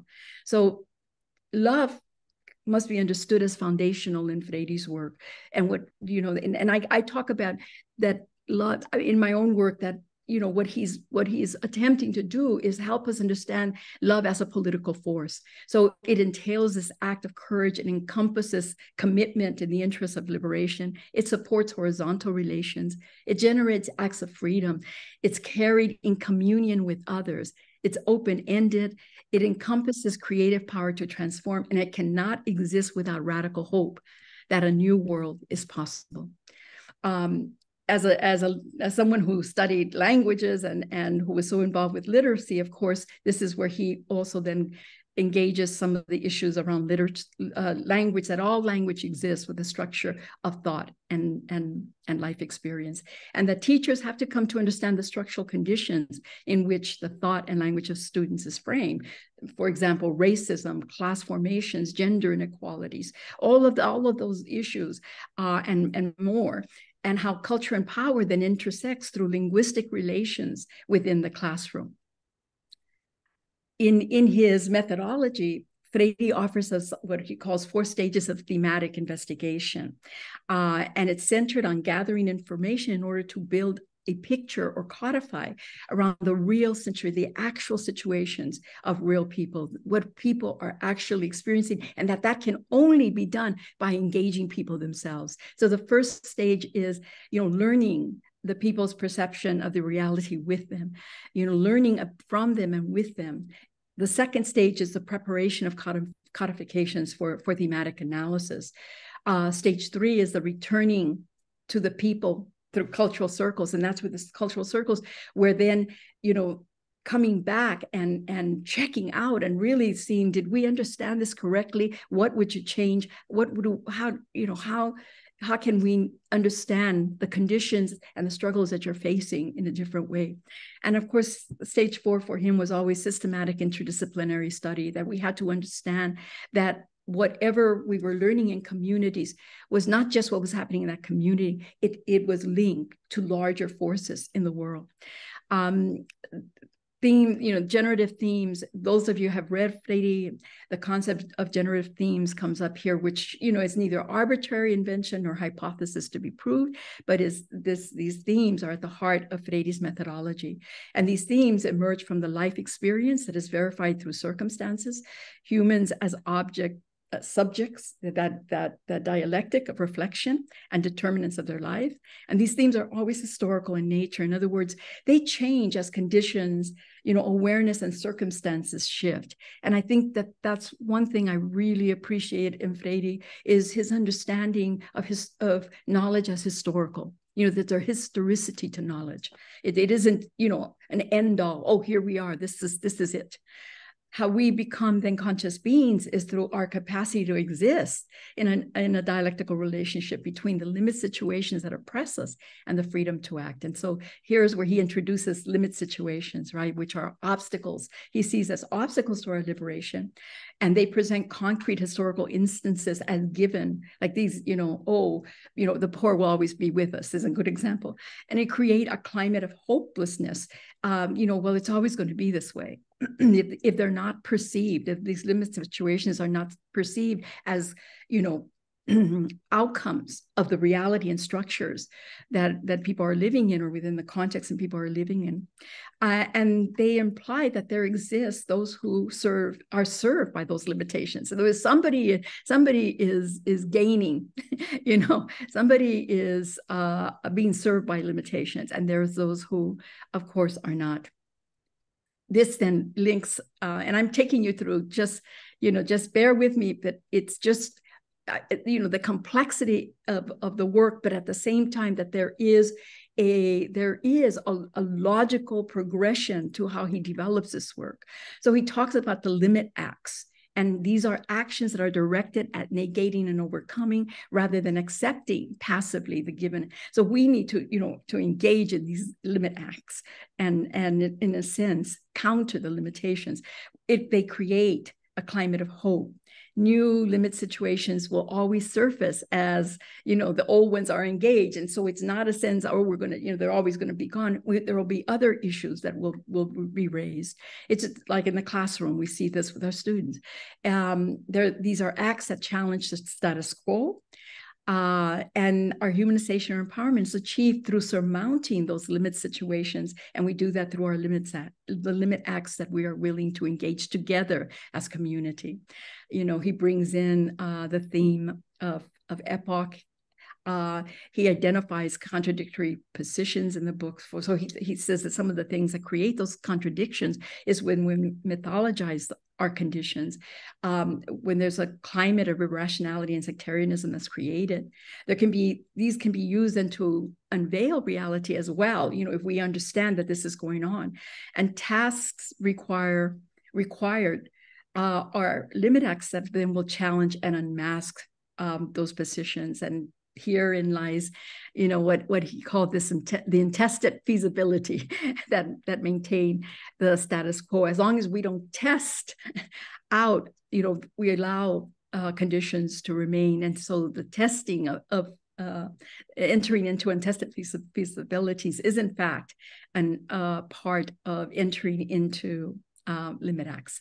The theme of, of silence, you know, it's it's he, he, he says we can't do the work whether in the classroom or communities without understanding how this culture of silence has had an impact on people where people you know can fail to name their own reality. There's a kind of a, you know if you've always been able to name your reality and you go into a community and you're wanting people to talk to you they don't know you they don't you know uh, or or you're going to a community to teach and and there, there's no sense of connection with the people, it's going to be a very difficult situation because it's actually going to reinforce that. It, it requires of us to, to be very conscious about how we enter into any situation.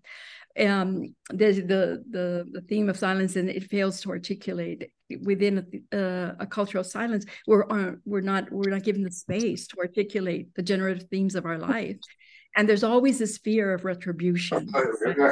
A ver otra vez. Uh-oh. All right. So then here is when he really, you know, digs into the con the conscientisation or conscientization. So here the critical form that and this I I I I hope for most of you you've read Freire, so you're aware of these of your of these concepts, but just a refresher, kind of, you know, he talks about a critical form of thinking about the world. The decoding of conditions of oppression is part of what helps us to evolve in our consciousness. Critical perception of the concrete, that there is this abstract material dialectic that is understood. In other words, those those conditions that exist out the material conditions that exist out there they didn't just happen they happen as a consequence of a certain form of consciousness which was behind their creation the emergence as full subjects of history capable to of taking action to transform conditions of oppression in our lives and communities. And then he he actually speaks and kind of ends the book by the the chapter by the the element of co-investigators and and some of the things that we must understand we have to understand the language of the people. You know if you if you want to work in, with with people and you're you've not been of that community you, you you've got to spend time be creating true relationships relationships that are that are um, foundational to the work and that we begin with the nuclei of contradictions. I mean this is you know they're like where are those contradictions um, the, he talks about the importance of evaluation meetings with one another and with participants. And the process of investigation must never become mechanized, abstracted, or reductive, but rather retain its dia dialogical sensibilities. So very similar, we're talking about invest investigation, these are very similar to what we don't want the, the our pedagogy in the classroom to become. And then the last chapter is where I called, you know, a call to revolutionary leadership. So he says if true commitment to the people requires a theory of transformation, of transforming action, this theory cannot fail to assist the people uh, a fundamental role in the transformation process. So here Freire unapologetically asserts the revolutionary na nature of cultural action, squarely examining the differences between anti-dialogical and dialogical approaches. He argues that anti-dialogical conditions, you know, given their alienating purpose, serve as instruments of oppression, while a dialogical praxis is enacted through a pedagogical and political commitment to the liberation of the oppressed. He expounds on the characteristics of anti-dialogical action, which enact a pedagogy and politics of conquest, divide and rule, of manipulation and cultural invasion. In direct contrast, then, he points to the characteristics of dialogical action, which enact radical cultural expressions of cooperation, of unity, organization, and cultural synthesis. So, in a variety of ways, this last chapter serves as kind of the synthesis of the book uh, in that he revisits and weaves together many of those central themes explored previously in order to speak to authentic revolutionary leadership, whether it be within schools or communities. So Freire in particular draws on, on Gramsci's ideas of both moral leadership and the the information of organic intellectuals to engage with the complexities of political authority and communal participation. Both are essential both essential then to a revolutionary praxis of, of, of cultural action. So uh, just let me see if there's anything in, I, I think I, I just want to say that it's a, again, this sense for Freire to humanize education or to, to create a praxis of freedom, it, it, it, it requires, it requires that that four four things in particular are there that we have the freedom to choose that we have the freedom to participate and to express creativity that which is the freedom to voice and that we have the freedom to critique. That that when those any of those are missing in our work within communities or within the schools what we do in fact is then easily collapse into an author- more authoritarian um, educational system, no matter how nice we might be or how well-meaning we might be. So I think I'm, I'm going to stop there. Oof. I'm sorry. I feel like I'm just like, la, la, la, la, la. but I hope that that for those who are not, you know, familiar with Freire, it this gives you kind of a, you know, the a brushstroke about what you find in the book, and for others a refresher, uh, and it also, you know, helps us in in in engaging questions about um, about the work. wow. That's extraordinary. Uh, fast, but I know. Sorry. no, I mean, what what are you going to do? I mean, that makes sense. Right. Um, so I'm just gonna I'm just gonna uh, keep us uh, on plan, uh, which is that um, Antonia has made. I think you've made this beautiful film which is about 12 minutes long, or a presentation. Yes. yes. Yeah. And uh, the idea was while uh, folks, uh, you know, put questions into the chat or you know formulate their questions. Let's watch this lovely musical beautiful film.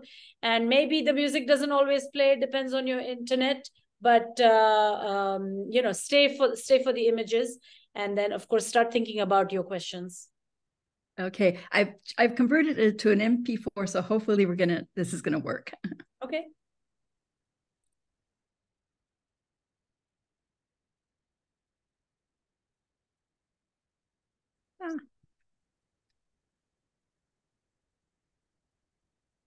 Ele vinha sem muita conversa, sem muito explicar.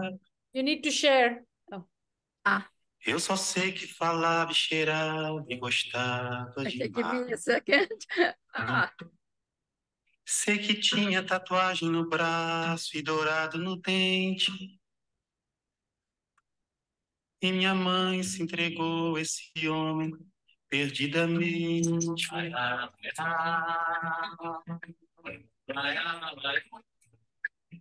Ele, assim como veio partir, não se sabe para onde. E deixou minha mãe com um olhar cada dia mais longe. Esperando parada pregada na pedra do porto. O seu único velho vestido cada dia curto.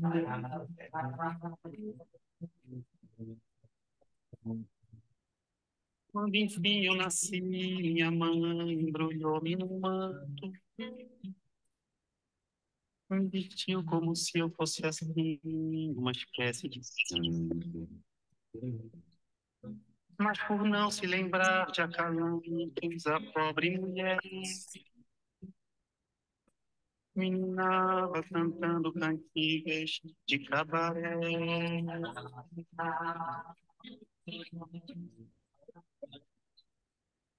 Minha mãe não tardou a lembrar toda a vizinhança. A mostrar que ela estava bem mais que uma simples criança. E não sei bem se por ironia ou se por amor resolveu me chamar com o nome do nosso Senhor.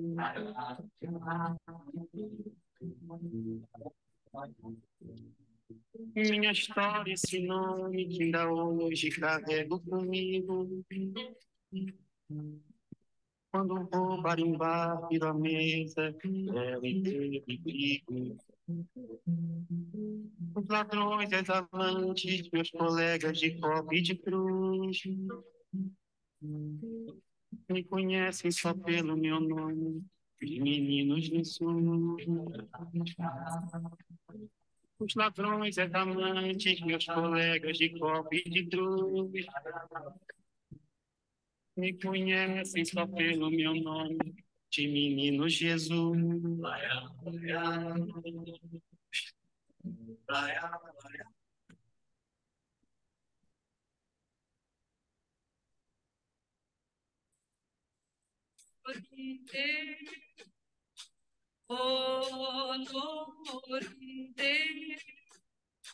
Oh, Lord, oh, Lord, Ishi Behová, Ishi Behová, vê meu pai, o teu filho morreu. Ave meu pai, o teu filho morreu.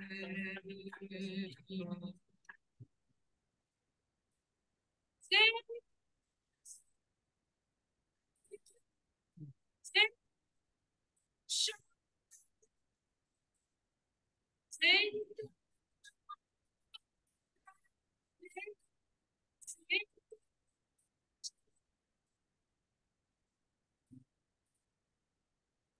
É meu Pai morreu. Pai morreu. Salve meu pai, o teu filho nasceu. Salve meu pai, o teu filho nasceu.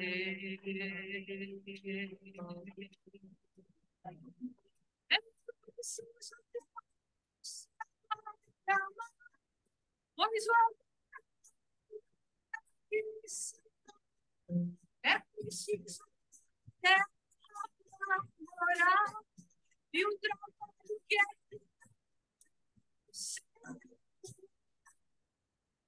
Só teu de mais ninguém. Só teu de mais ninguém. Salve meu Pai, o teu filho cresceu. Salve meu Pai, o teu filho cresceu.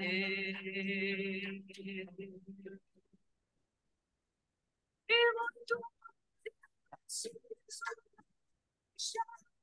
que amanhã possas esquecer que quem manda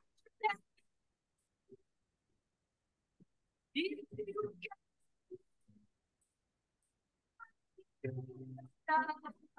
O bem não vai, não vai. O bem não vai, não vai. Salve meu pai, o teu filho viveu. Salve meu pai, o teu filho viveu. Oh, Lord, Oh, Lord, oh, Lord, Ishibeuba, Ishibeuba.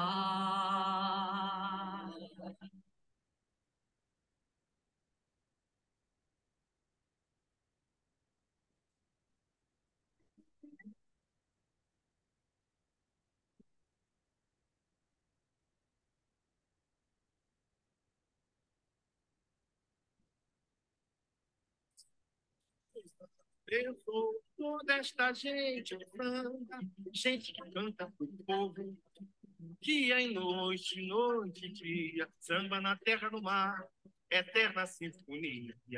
Sob os raios do sol, sublime é o cantar, no som das brisas ao luar. Frases soltas pelo ar, os santos abençoam toda esta gente do samba, gente que canta pro povo. Dia e noite, noite e dia, samba na terra do mar, eterna sinfonia. Sob os raios do sol, sublime meu cantar, no som das brisas ao luar. Frases soltas pelo ar. Quem não é de samba, chega pra lá. Mas quem souber pode se apresentar. Entrar na roda pra samba. Estou aqui para ver quem vai dizer no ah, eu quero ver o caldeirão ferver. Eu quero ver o caldeirão ferver. Vou embora, já vou pintar o meu palito, que eu vou me embora e está na hora. Ih, já vou pintar o meu que eu vou me embora e está na hora. Alô, povo da mocidade, começou aí?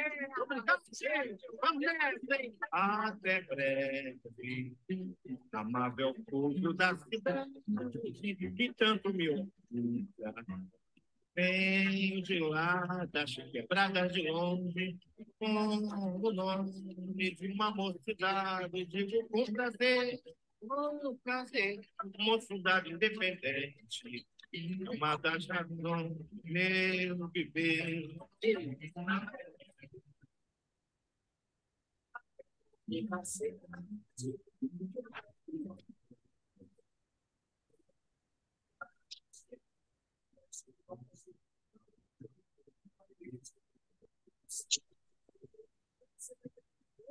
Prazer.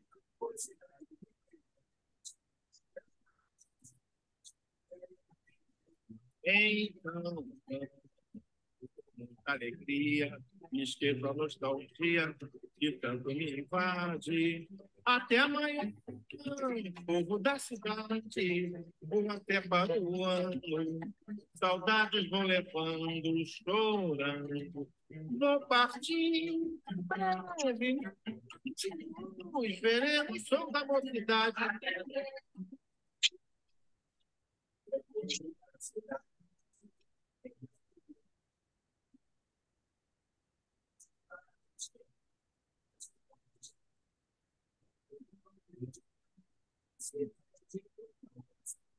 Todo prazer.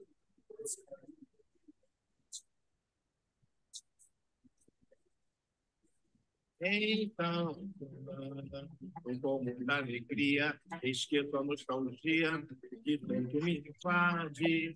Até amanhã, novo da cidade, ou até para o ano.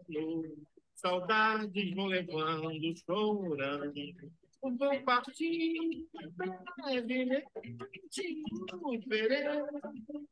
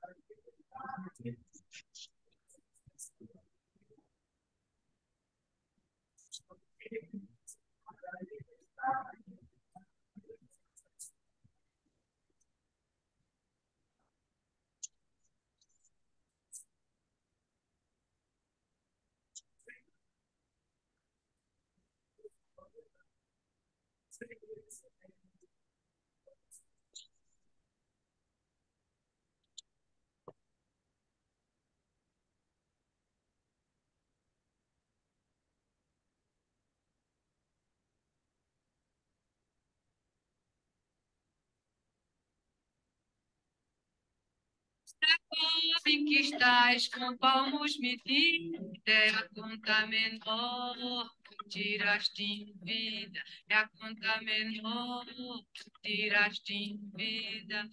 É de bom tamanho, nem largo nem fundo, é a parte que te cabe nesse latifúndio, é a parte que te cabe nesse latifúndio. Não é cova grande, é cova medida, é a terra que querias dividida, é a terra que querias ver dividida. É uma cova grande para teu pouco de fundo, mas estarás mais ancho que estavas no mundo, mas estarás mais ancho que estavas no mundo.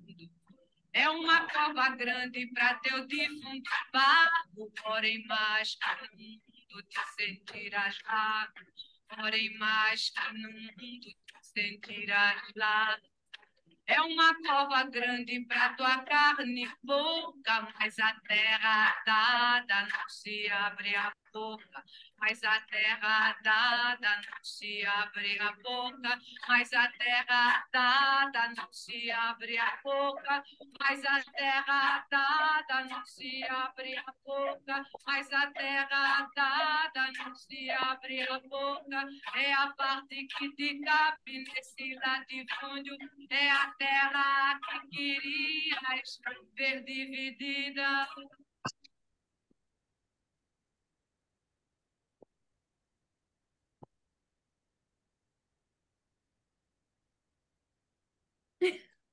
wow, amazing. Thank you for sharing that. Um, well, we still have folks here, and there's a there's a question already from Vandana Singh, um, and whoever else. If you want, Vandana, do you want me to spotlight you, and then you'll just you want to ask your question, or?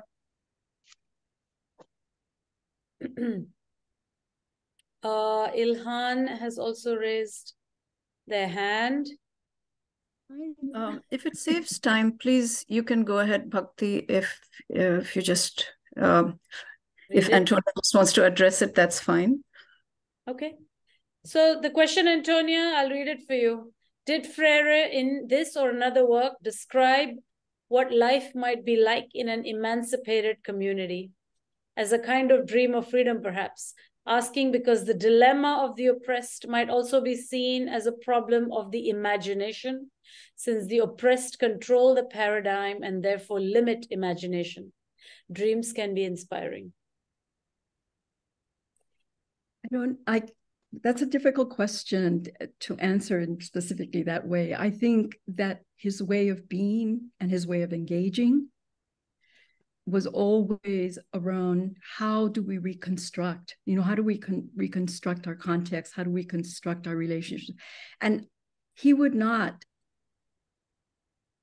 provide a recipe for how you know this is the way this is what revolutionary praxis is or this is what it's going to look like when we're you know liberate i mean because in fact i don't think that he thought that way. I mean he thought that dialectically always this issue of oppression and liberation, the, the tension as human beings was always going to be at work.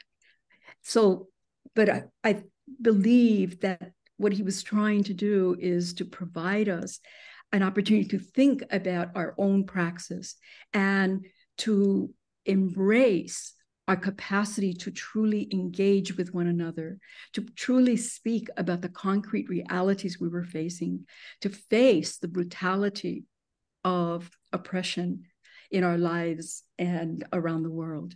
And I think he did it every chance he, he got. I mean, every moment, you know, when he spoke, you know, he tried to address whatever the issues that were going on at a particular time. Um, but but to to provide you know a text that says okay this is what it's going to look like when we're liberated um, that wasn't you know that that wasn't his project. I don't really do not believe that that was his political project. His political project was that at the moment we try to prescribe we fall into the very type of dynamic that we're fighting against. And that is an open dynamic that allows the context which includes the people allows the context to sh- to shape and to and to determine um, you know how life is structured and how relationships are structured and how in, how organizations and institutions are structured.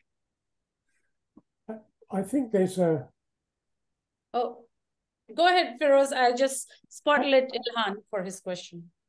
I, I, I think you know you, you're quite right antoni but but i think there's an important point that vandana has raised. And and and one which um, I recall uh, Samir Amin talking about as well, and that and that is the problem is that because of the societies we live in, our capacity to imagine is limited. It, it, you know, we have to recognize that. that and it is, of right. course, in the struggle. It isn't the invention of humanity that that the, the future begins to become possible. But it, but it's, I think it's an important point to recognize that our imaginations are cramped. It's not just our lives; it's yes, everything. Yes. Yes, Firoz. I'm, I'm sorry. I, I kind of lost that. I'm, I'm dealing with, with, I should tell you, with long COVID and my brain gets fogged. But that, that point, I forgot to go back to that. No, absolutely. I mean, his, his conversations around um, and writings around epistemological curiosity and the significant, the importance. I mean, that why dialogue is so important is that in fact, he saw it as helping to prime and, and support our capacity to imagine and reimagine. So he talks about reinventing. He's talking also about us you know finding that the that social agency and that sense of of our own capacity to reimagine the world to reimagine our lives yeah i mean that is central to this work Bhakti, sorry, can I come in here? I, I, wanted to say one of the one of the quotes that Antonia included um, in in that presentation was Freire talking about a world in which it is easier to love. Um, and I think thinking about that, what do we do to create a world in which it is easier to love, um, can help free up that imagination a little bit. But but it is also an unfinished project, as Antonia's pointing out. You know, there's no there's no like final world. This is this is now the world. It's it's the process. Let's take Ilhan's question. Hi, everyone, and thank you for organizing this. And hi, Antonia. Uh, each time I feel like I regret each time we met, we didn't get a chance to talk more because you were too busy. um, uh, thank you. I feel like uh, cognitively and emotionally, I am overloaded, and which is a good thing, actually. Uh, I don't know how am I going to uh, phrase whatever thinking because I am so stimulated. Um, I want to ask, like, how are we doing in the process? Antonio and, and Firoz. Uh, like, uh, what is your observation? The reason I am asking is this: like, I feel like uh, we are not doing well. I feel like a little bit uh, pessimistic. Maybe Gramscian way of pessimistic, you know, uh, hopeful in mind, but uh, pessimistic in heart. Maybe it is because I am living in the United States last 20, 25 years. Maybe United States just created that because I was living in Turkey and oppression was uh, more brutal, but I was more hopeful. So what the heck is happening? I don't know. uh, so uh, what are you seeing? How are we doing uh, from a critical perspective, like uh, critical pedagogues perspective? Thank you.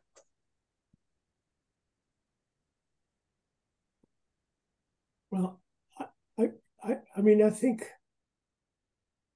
yes, the, the, the situation worldwide looks pretty dismal, but, but we mustn't forget, forget that there are inspiring things going on. I mean, we've just published a book about uh, Rojava, uh, where that, that complete creativity, the, the refusal to uh, not invent, uh, uh, to, to, to say it is possible. When, when I read stuff, statements by Abahlali, I'm, I'm inspired by what, what, what they talk about. We read stuff from Chiapas, from Zapatista.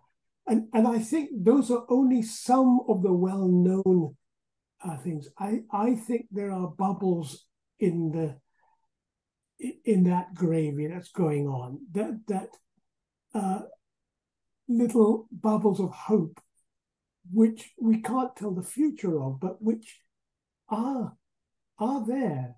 Um, and and I think that speaks to to to Freire's ideas that you know they can't crush us.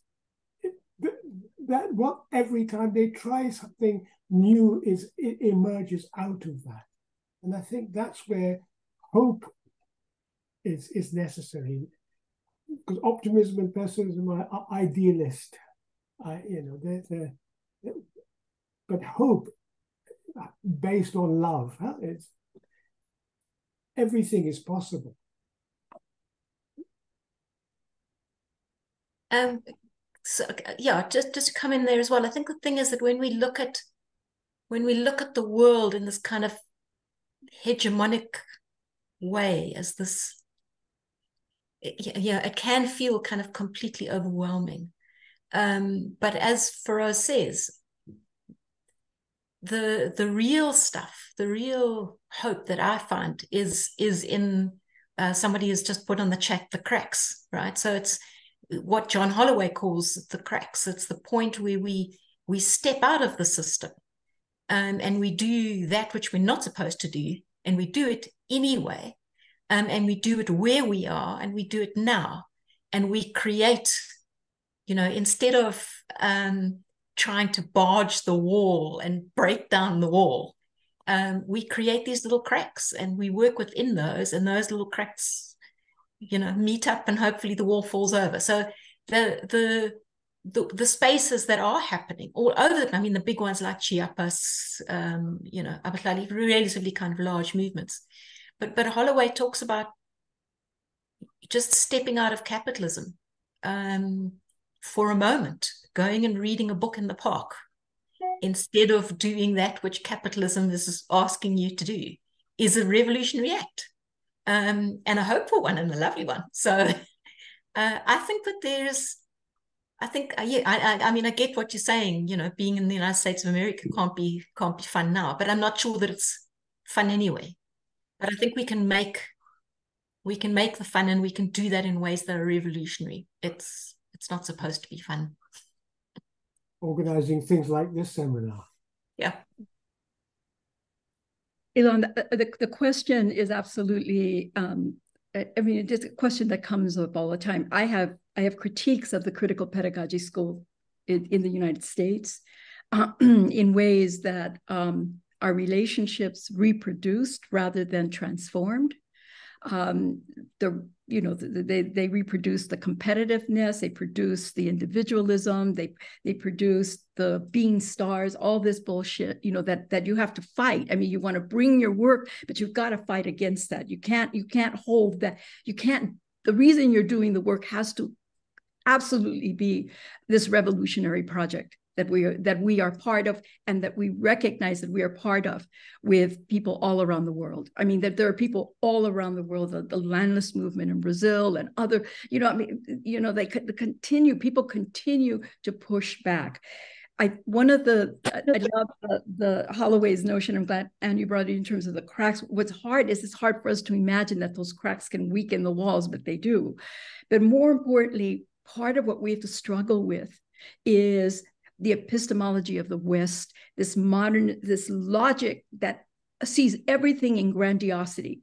So it's like if something isn't happening in, in ways that we perceive as grandiose, we don't see them as actually being effective or or or having an influence. And I think that that kind that that kind of logic, that way of thinking, that epistemology has actually that served um, the oppressed. It's, it's served those who have been in power, the wealthy, who continue to maintain power. And our struggle is how do we decolonize our own minds? How do we begin to step out of that so that we understand the kind of accountability and responsibility, political accountability and responsibility that we have begins in our own lives, in our own communities, in all relationships that we are involved with if we are doing this work because whether we like it or not if we're doing this work people are are are engaging us and and and judging us but we have to be able to step out of those judgments and begin to say how am i? How do i come to these relationships?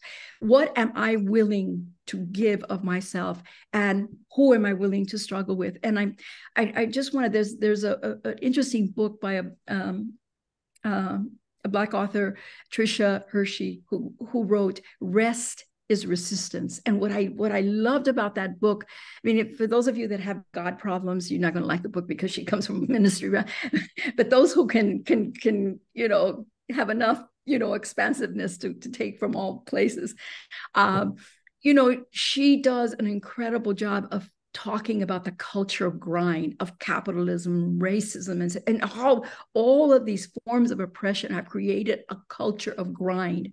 And it is a culture of grind that, that mobilizes us at, at, in ways that are even uh, away from our own interests. So part of our own struggle is what we want to we, the world that we want to make out there starts with the world that we're making inside of ourselves. I mean, you know, how am I contributing to the world? How am I contributing to the world that I want to make? And I have to tell you that in terms of Paulo Freire, I mean, I'll say it, and I mean, this is with sincerity, and it isn't an icon, it isn't an idol. This man was a, a man who lived his praxis in terms of love in terms of his willingness to listen in terms of his his willingness to struggle in in in i mean he he felt the rage he felt the pain because often we're running away from the pain in doing this work. There's no way in hell we can run away from the pain in our own lives and in our communities and what is happening out in the world. We have to find the strength with each other, and we do that collectively. I, I could not continue to do the, this work if I saw myself as doing this work individually. I mean, that's why for me that Anne is here and, and Firoz is here. You know, th- this this nourishes me because it reminds me this is a collective project. This is a collective process that we are involved in, and it's a historical one. So it's not just what is happening right now. Again, let's get out of this damn presentism of, of modernist culture and understand that the struggle for liberation is a long struggle. It's a long ass struggle, you know, and it has been going on, and we are part of that trajectory of that struggle. So it's not just what is happening at this moment. We are part of a larger historical process. And so it's important that we be clear in ourselves in terms of what our commitment, commitments are, how we bring that commitment to our work and to our relationships in the world. Um, Somnath, do you want to ask a question? Go ahead. Yeah, so thanks, thank you uh, for the beautiful uh, talk. Um, so my question was a little bit on on the on on the you know practical side or the praxis side. I, I work with indigenous communities in central India, and uh, you know, so the work involves everyday small things and such, and and so we try we are trying to incorporate these some of the ideas from Freire on the ground. And and what i was wondering is if any one of you could could share a little bit of that part of your work where you have taken these ideas the philosophies the con- concepts the conscientization and how have you translated that on on the ground with communities? So any any examples would be greatly enlightening.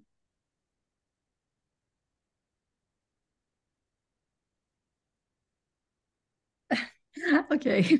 I I'll, I'll tell you i mean I, I, there's so many there's just you know so many moments of this but um, for some reason the one that comes one of the ones that comes up for me is when i was working in, in community um, as a, I was a pediatric nurse. That's how I, I begin my journey. And i'm working in an early childhood education program right? And i'm working with mothers and i'm doing health kinds of things, but I'm, you know, also trying to uh, look at both physical health, mental health, emotional, spiritual health of, of the families that were coming, who were all low income families. And so I would do these groups, and mainly the, the who would come would be the mothers, you know, and the mothers would come. And so I I wanted began to do generative themes. You you try to really understand, but more importantly, ask them what they wanted you know. So after we had so many conversations and i said okay what, do you want us to explore? You know the group what what and all of a sudden they start saying oh you know can we can we uh look at fashion can we look at makeup can we look at you know can we look uh, you know anyway you get a hairstyle you know Mm-hmm. And I remember at first, my first was like, oh my God, it's like nothing I've done, you know. And then I had to put aside, you know, my react, my, my you know, this kind of like put that aside and and stop and just listen and say, okay, Paulo always said you start where people are at. You start with where they're at. And so I so I said, okay, next week, let's bring magazines. Let's bring magazines and, and, and let's talk about what we see in the magazines, you know, around fashion and, uh, you know, and so we started doing that. And little by little, then I would just ask questions. I would say, "Oh, well, what does this convey?" Or, you know, what do you think the impact of that is? Or, you know, or and they'd begin to ask questions, and then begin, then they began to ask each other questions, right? Where I just and what I saw is that there is such truth that when we create the space, the time, and the place for people to be heard and really to hear them and to just engage them, that what happens is that we're transformed in that process as well. So what what came out of that for me was that I learned as much as the women in that group did. And I I mean, they taught me humility. They taught me, I mean, so much about what it means to just listen and stop judging where people are coming from and understand that it is an evolutionary process wherever they wherever we're at we start and we move forward and we do it together so that for me was an amazing experience within the classroom, another experience very quickly was that I came in to teach a psychology one. I, I was asked to teach a psychology course, and I had always taught in graduate school. So I bring the syllabus, right? And I, I do this syllabus, and I'm you know, I think I'm, oh, I'm so happy with my syllabus, right? I hand it out. And I started explaining the syllabus as we often do, right? And you know these are young young this is these are fresh, entering students so they're in their first year of college right and and they're looking at me with this face that is just like you know, you know horror horror about my expectations of them. And so, in, you know, instead of ignoring the reading of the world, which in that moment was a reading of their faces and their language and what, what they were not saying, I just I said, okay, what what is going on? You know, I can, you know, what's going on here? And nobody would say anything. And then some really, you know, gutsy girl at the back, young woman at the back, she said, This is ridiculous. This is what you're asking is ridiculous, you know. And and I just and I said, okay. I said, I'll tell you what, I want you guys to break up into small groups and go home. And your assignment is to come back with suggestions about how we should change the syllabus. You guys go out and write the you know syllabus. They came back. And you know, we did, I'm going to tell you, that was one of the most amazing semesters in my life with these young people because they ended actually doing more work than what I was asking them to do with my little syllabus that I had created. And part of it is because it's what happens when we when we feel that we are truly part of, the process. You know, it just it just opens us and it awakens all sorts of of things that we don't, you know, capacities. all sorts of capacities, the imagination, the creativity, the curiosity that we ourselves maybe didn't even realize was there. So I've seen it in over and over again, working, you know, in workers in, in worker contexts, um, in community um, struggles out um, in, in communities, um, working on, you know, immigration issues, you know, which always is a lot of fears. Rather than fighting away from their fears, you know, engaging where they're at uh, and getting out of the way because sometimes we are obstacles when we're not willing you know to really to, to notice our impact in a situation. We can be obstacles to dialogue and we can be obstacles in terms of people having an opportunity time place space to engage oh. and to thank you. Thank you I mean, it reminds, it reminds me that you know it's one of the weaknesses often that we, we, we see is, is is like that classic story of somebody in Ireland looking asking the way to to get to Dublin, and he stops somebody on the side of the road and says, you know, well, can you help me? How do I get to, to Dublin? The response is, well, if that's where you want to go, I wouldn't be starting from here.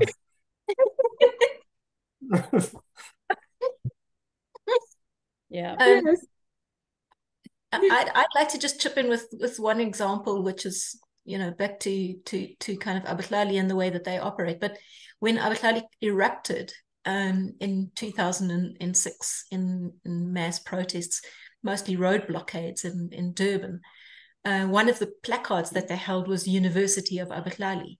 So they understood themselves already from the from the real the beginning um, as a space of of learning and and um, through through struggle. Um, and what I came to know some of the the people involved in in Abahlali, and I was at the time running a a, a course at the university, which was a kind of an access course that the university didn't take particularly seriously, but which allowed uh, students in through alternative access, uh, people who would not normally be able to access the university. Um, and some of the comrades from Abahlali came um, to those classes. And I think it was the most unbelievable learning experience for everybody um, in the class, including myself. Uh, but what I thought was really interesting was that throughout that process, they would they would come to the class, which was like a day long a week, um, and then after the class they would meet, and they would talk about what they learned in the academic university and what they had were learning in the university of struggle and whether those things were even talking to one another in any meaningful way. Um, and that that i found kind of really interesting. And and you know when i when i taught Freire which i we used to do um, the discussion that they had after that because they actually published the discussions um, about about how they could see Freire being being useful um, was was really interesting. So yeah, that's you know my little example. Um, I'm not seeing more questions or hands, and I think you know it's been a long couple of hours, so I think we should, you know, just uh, we we should stop and go back and rest and resist as we rest. I I mean I did have I had one question for you only if you feel like uh, answering. I just wanted you to Antonia to just tell me how he was. I know you just like tell me like about his what he you know what he was like oh you're muted um my experience of him was you know a person who had a capacity to be present i don't, I don't know that i mean to be really there so what i always found amazing is for example if we go to a restaurant or I remember taking them shopping. They had to Nita needed to, to buy some things that I took. And what always struck me was that the way he treated the the people when the when paying or the per person serving his food. I mean, there was such a tenderness and such a gentleness and a, such a sense of respect for what they were doing um, mm-hmm. that I mean, it, it, it's that striking thing that sometimes, you know, it seems like such a small thing, but often we we think of, of the revolutionary process in these big, huge ways, and we forget that it begins in in a in a way of of living the revolutionary praxis in our everyday lives. And so he he brought that, he embodied it. I mean, it was a sense of embodiment, an embodiment of love, an embodiment of politics. Did the critiques bother him? yeah, they bothered him, but never. It, what was interesting to me is that he would talk about, you know, a critique, but there never was like animosity towards. I didn't experience him in terms of thrusting animosity onto those who did the critique. I mean, it was almost a sense like I, can, you know, we, we can't control what others do. We can, we can control how we respond and how we choose to be in the world. And I think that he chose to be in the world in a way that for him felt it that he embodied that praxis that he wrote about. So that, that that you know that if we just just writing will not change the world. I mean that that, that and it doesn't he loved books. I mean i truly had me big huge library. But books alone will not transform our world yeah. you know it it has it's a concrete actions we take at every level of our lives and the, the the responsibility that require that is required of us to do that and the commitment because it's a commitment to stay present in our world to stay embodied to to engage and to struggle with others you know in where there's disagreement or where there's our, our, our willingness to stay at the table but so many people just walk off. They they you know they leave the table and then then they go oh why does nothing ever get done? Or why don't we ever change? Well it, it is it you know it's not we got to roll up our sleeves. We've got to be with the yuckiness and the struggle, our own yucking, our own, you know, emotions that sometimes, you know, surface. And I and I think that he was an example of a person who was able to, because of his being present, that he could engage those emotions and others' way of being without having to be absorbed by it. And i think that's where we we need a lot of practice in our work because epistemologically in order to shift we have to understand that it's not just about the way we speak but it's also the way we behave and the way we relate. And so there was a twinkle in his eye. This man this is you know it's like there was just this twinkle there's always this twinkle in his eye and there was a sense that like if you if you were just you know, hanging with him, it was hard not to smile and laugh. And he loved to laugh. And he would say, you know, and he'd be silly. He'd say things like, Oh, I don't trust somebody who doesn't drink wine. you know, he loved red wine. I don't trust, you know, but he, I mean, it was just, it was like being silly. He could, he could do that. He could be humorous and he could be, you know, gentle and kind and loving and present. And yet, you know, very, very, you know, he could critique.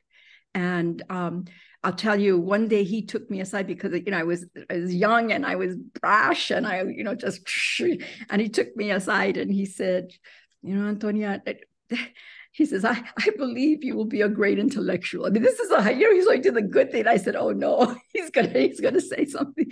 And he said, But you know, you got to think about how you respond. If you respond with intolerance of that, you know, then you're going to generate intolerance. He says, I just want you just think about that, you know.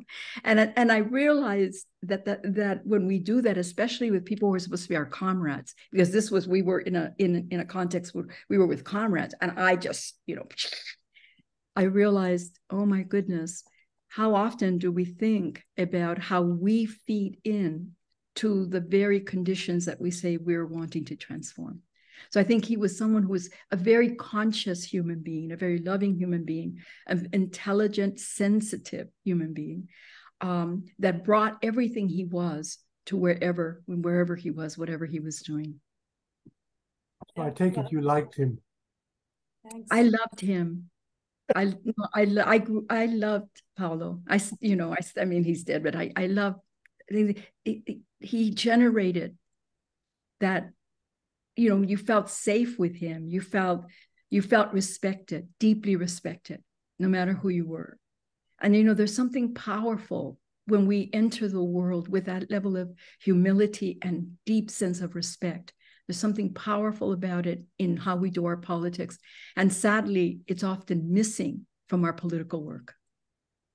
Yeah, that's beautiful. Um, Ruhi, I don't know, Antonia, how do you feel? Do you want to listen to Ruhi, who, who oh, sure. wonderful transformative work? Ruhi, will you?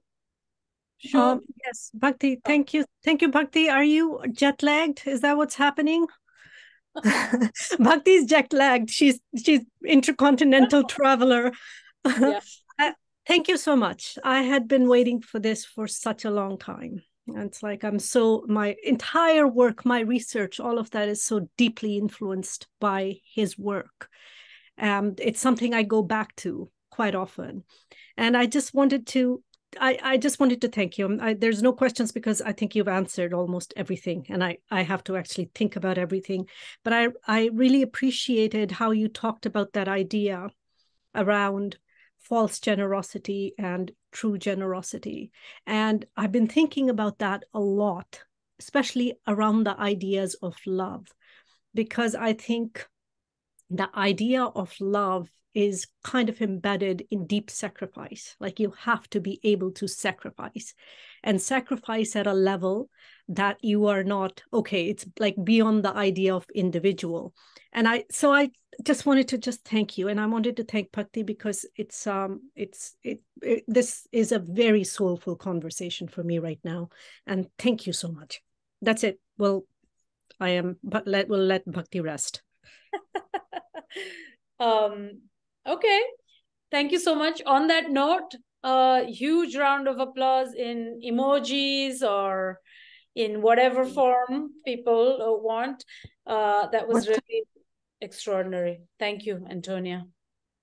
Thank you, See you. Yeah. yeah. And, and thank you, Rose, and thank you, Anne. Of course, I don't know why I'm forgetting.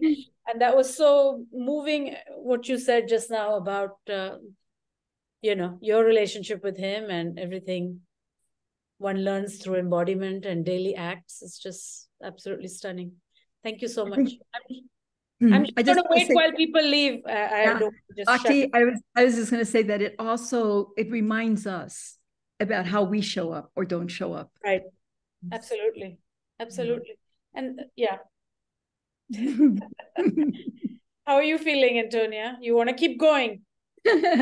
I'm I'm tired, but I, will hang with you until until yeah, until we're done. That was great. Um, it was beautiful to be with you. and Firoz, what a what, what a pleasure. Uh, Thank you, for bringing us together.